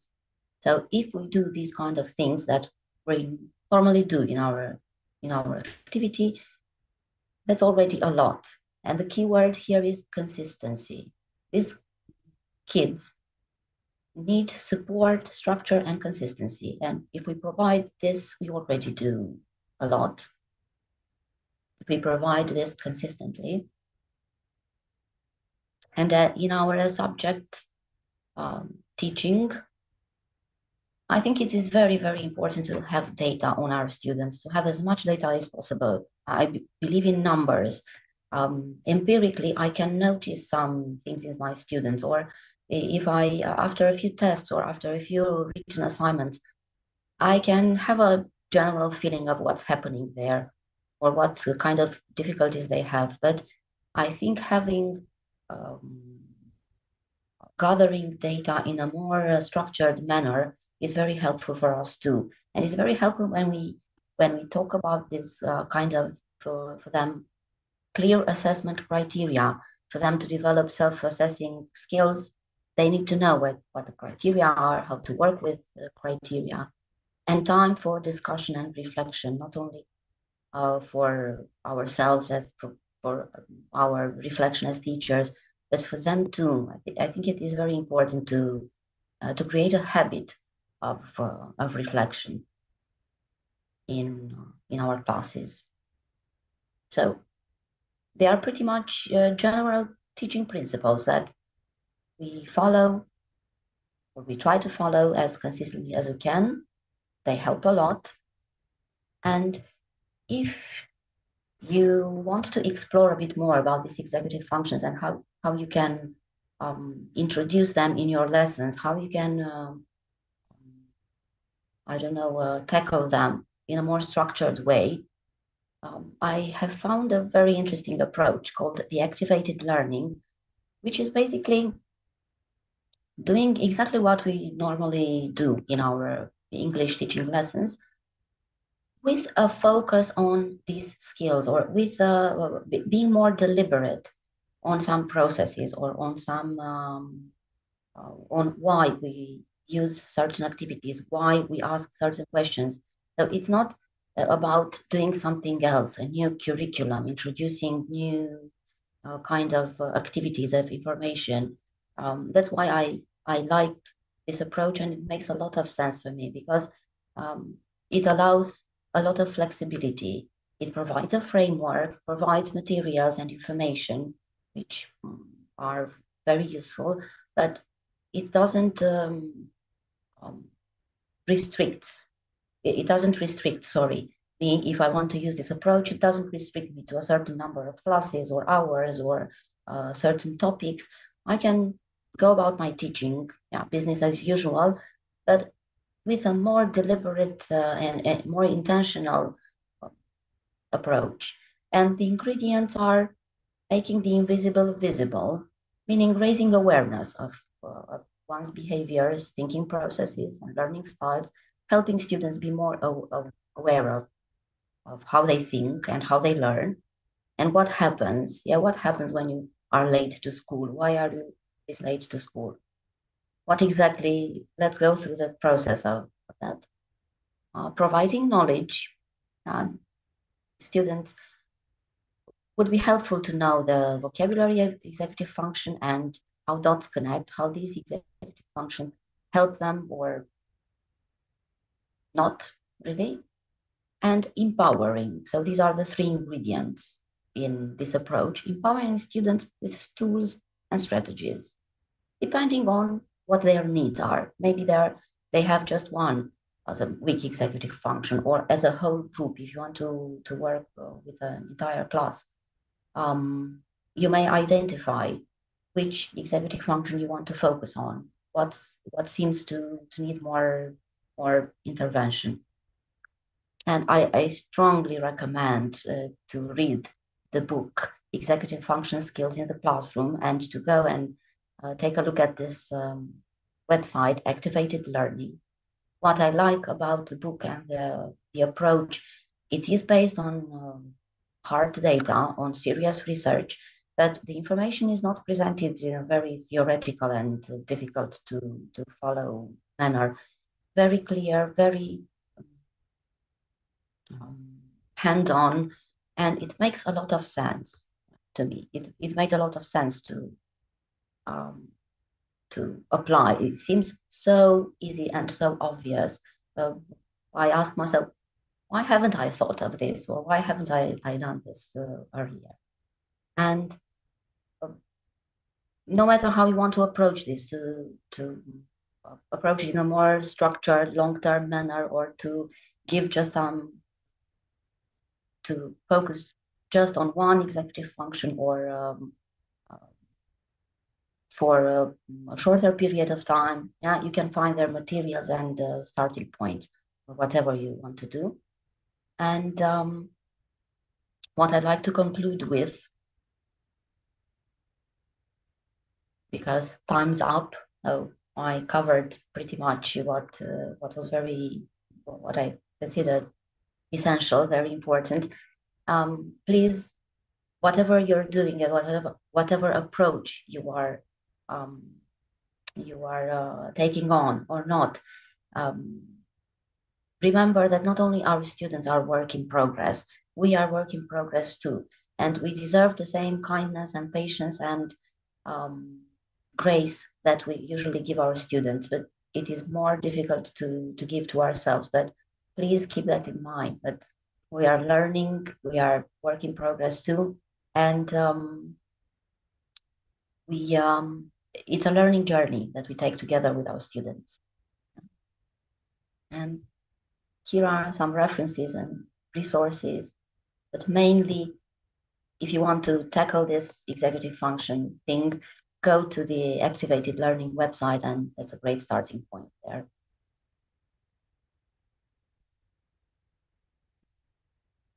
Thank you very much, Mirela. Thank you very, very much for, for the very hands-on presentation that you've delivered uh, today. Very, very useful information, which I'm sure everyone, and I'm sure everyone has something to learn from what you've just uh, presented. These are indeed challenges that we teachers face quite a lot during our um, during our activity or throughout our throughout our careers. Um, this being said, um, this has been the last presentation of the free session uh, part of the conference. Thank you very much for attending, everyone. You will receive certificates of participation. My colleague will now put in the chat box the feedback link, which you will need to fill in in order to get the certificates.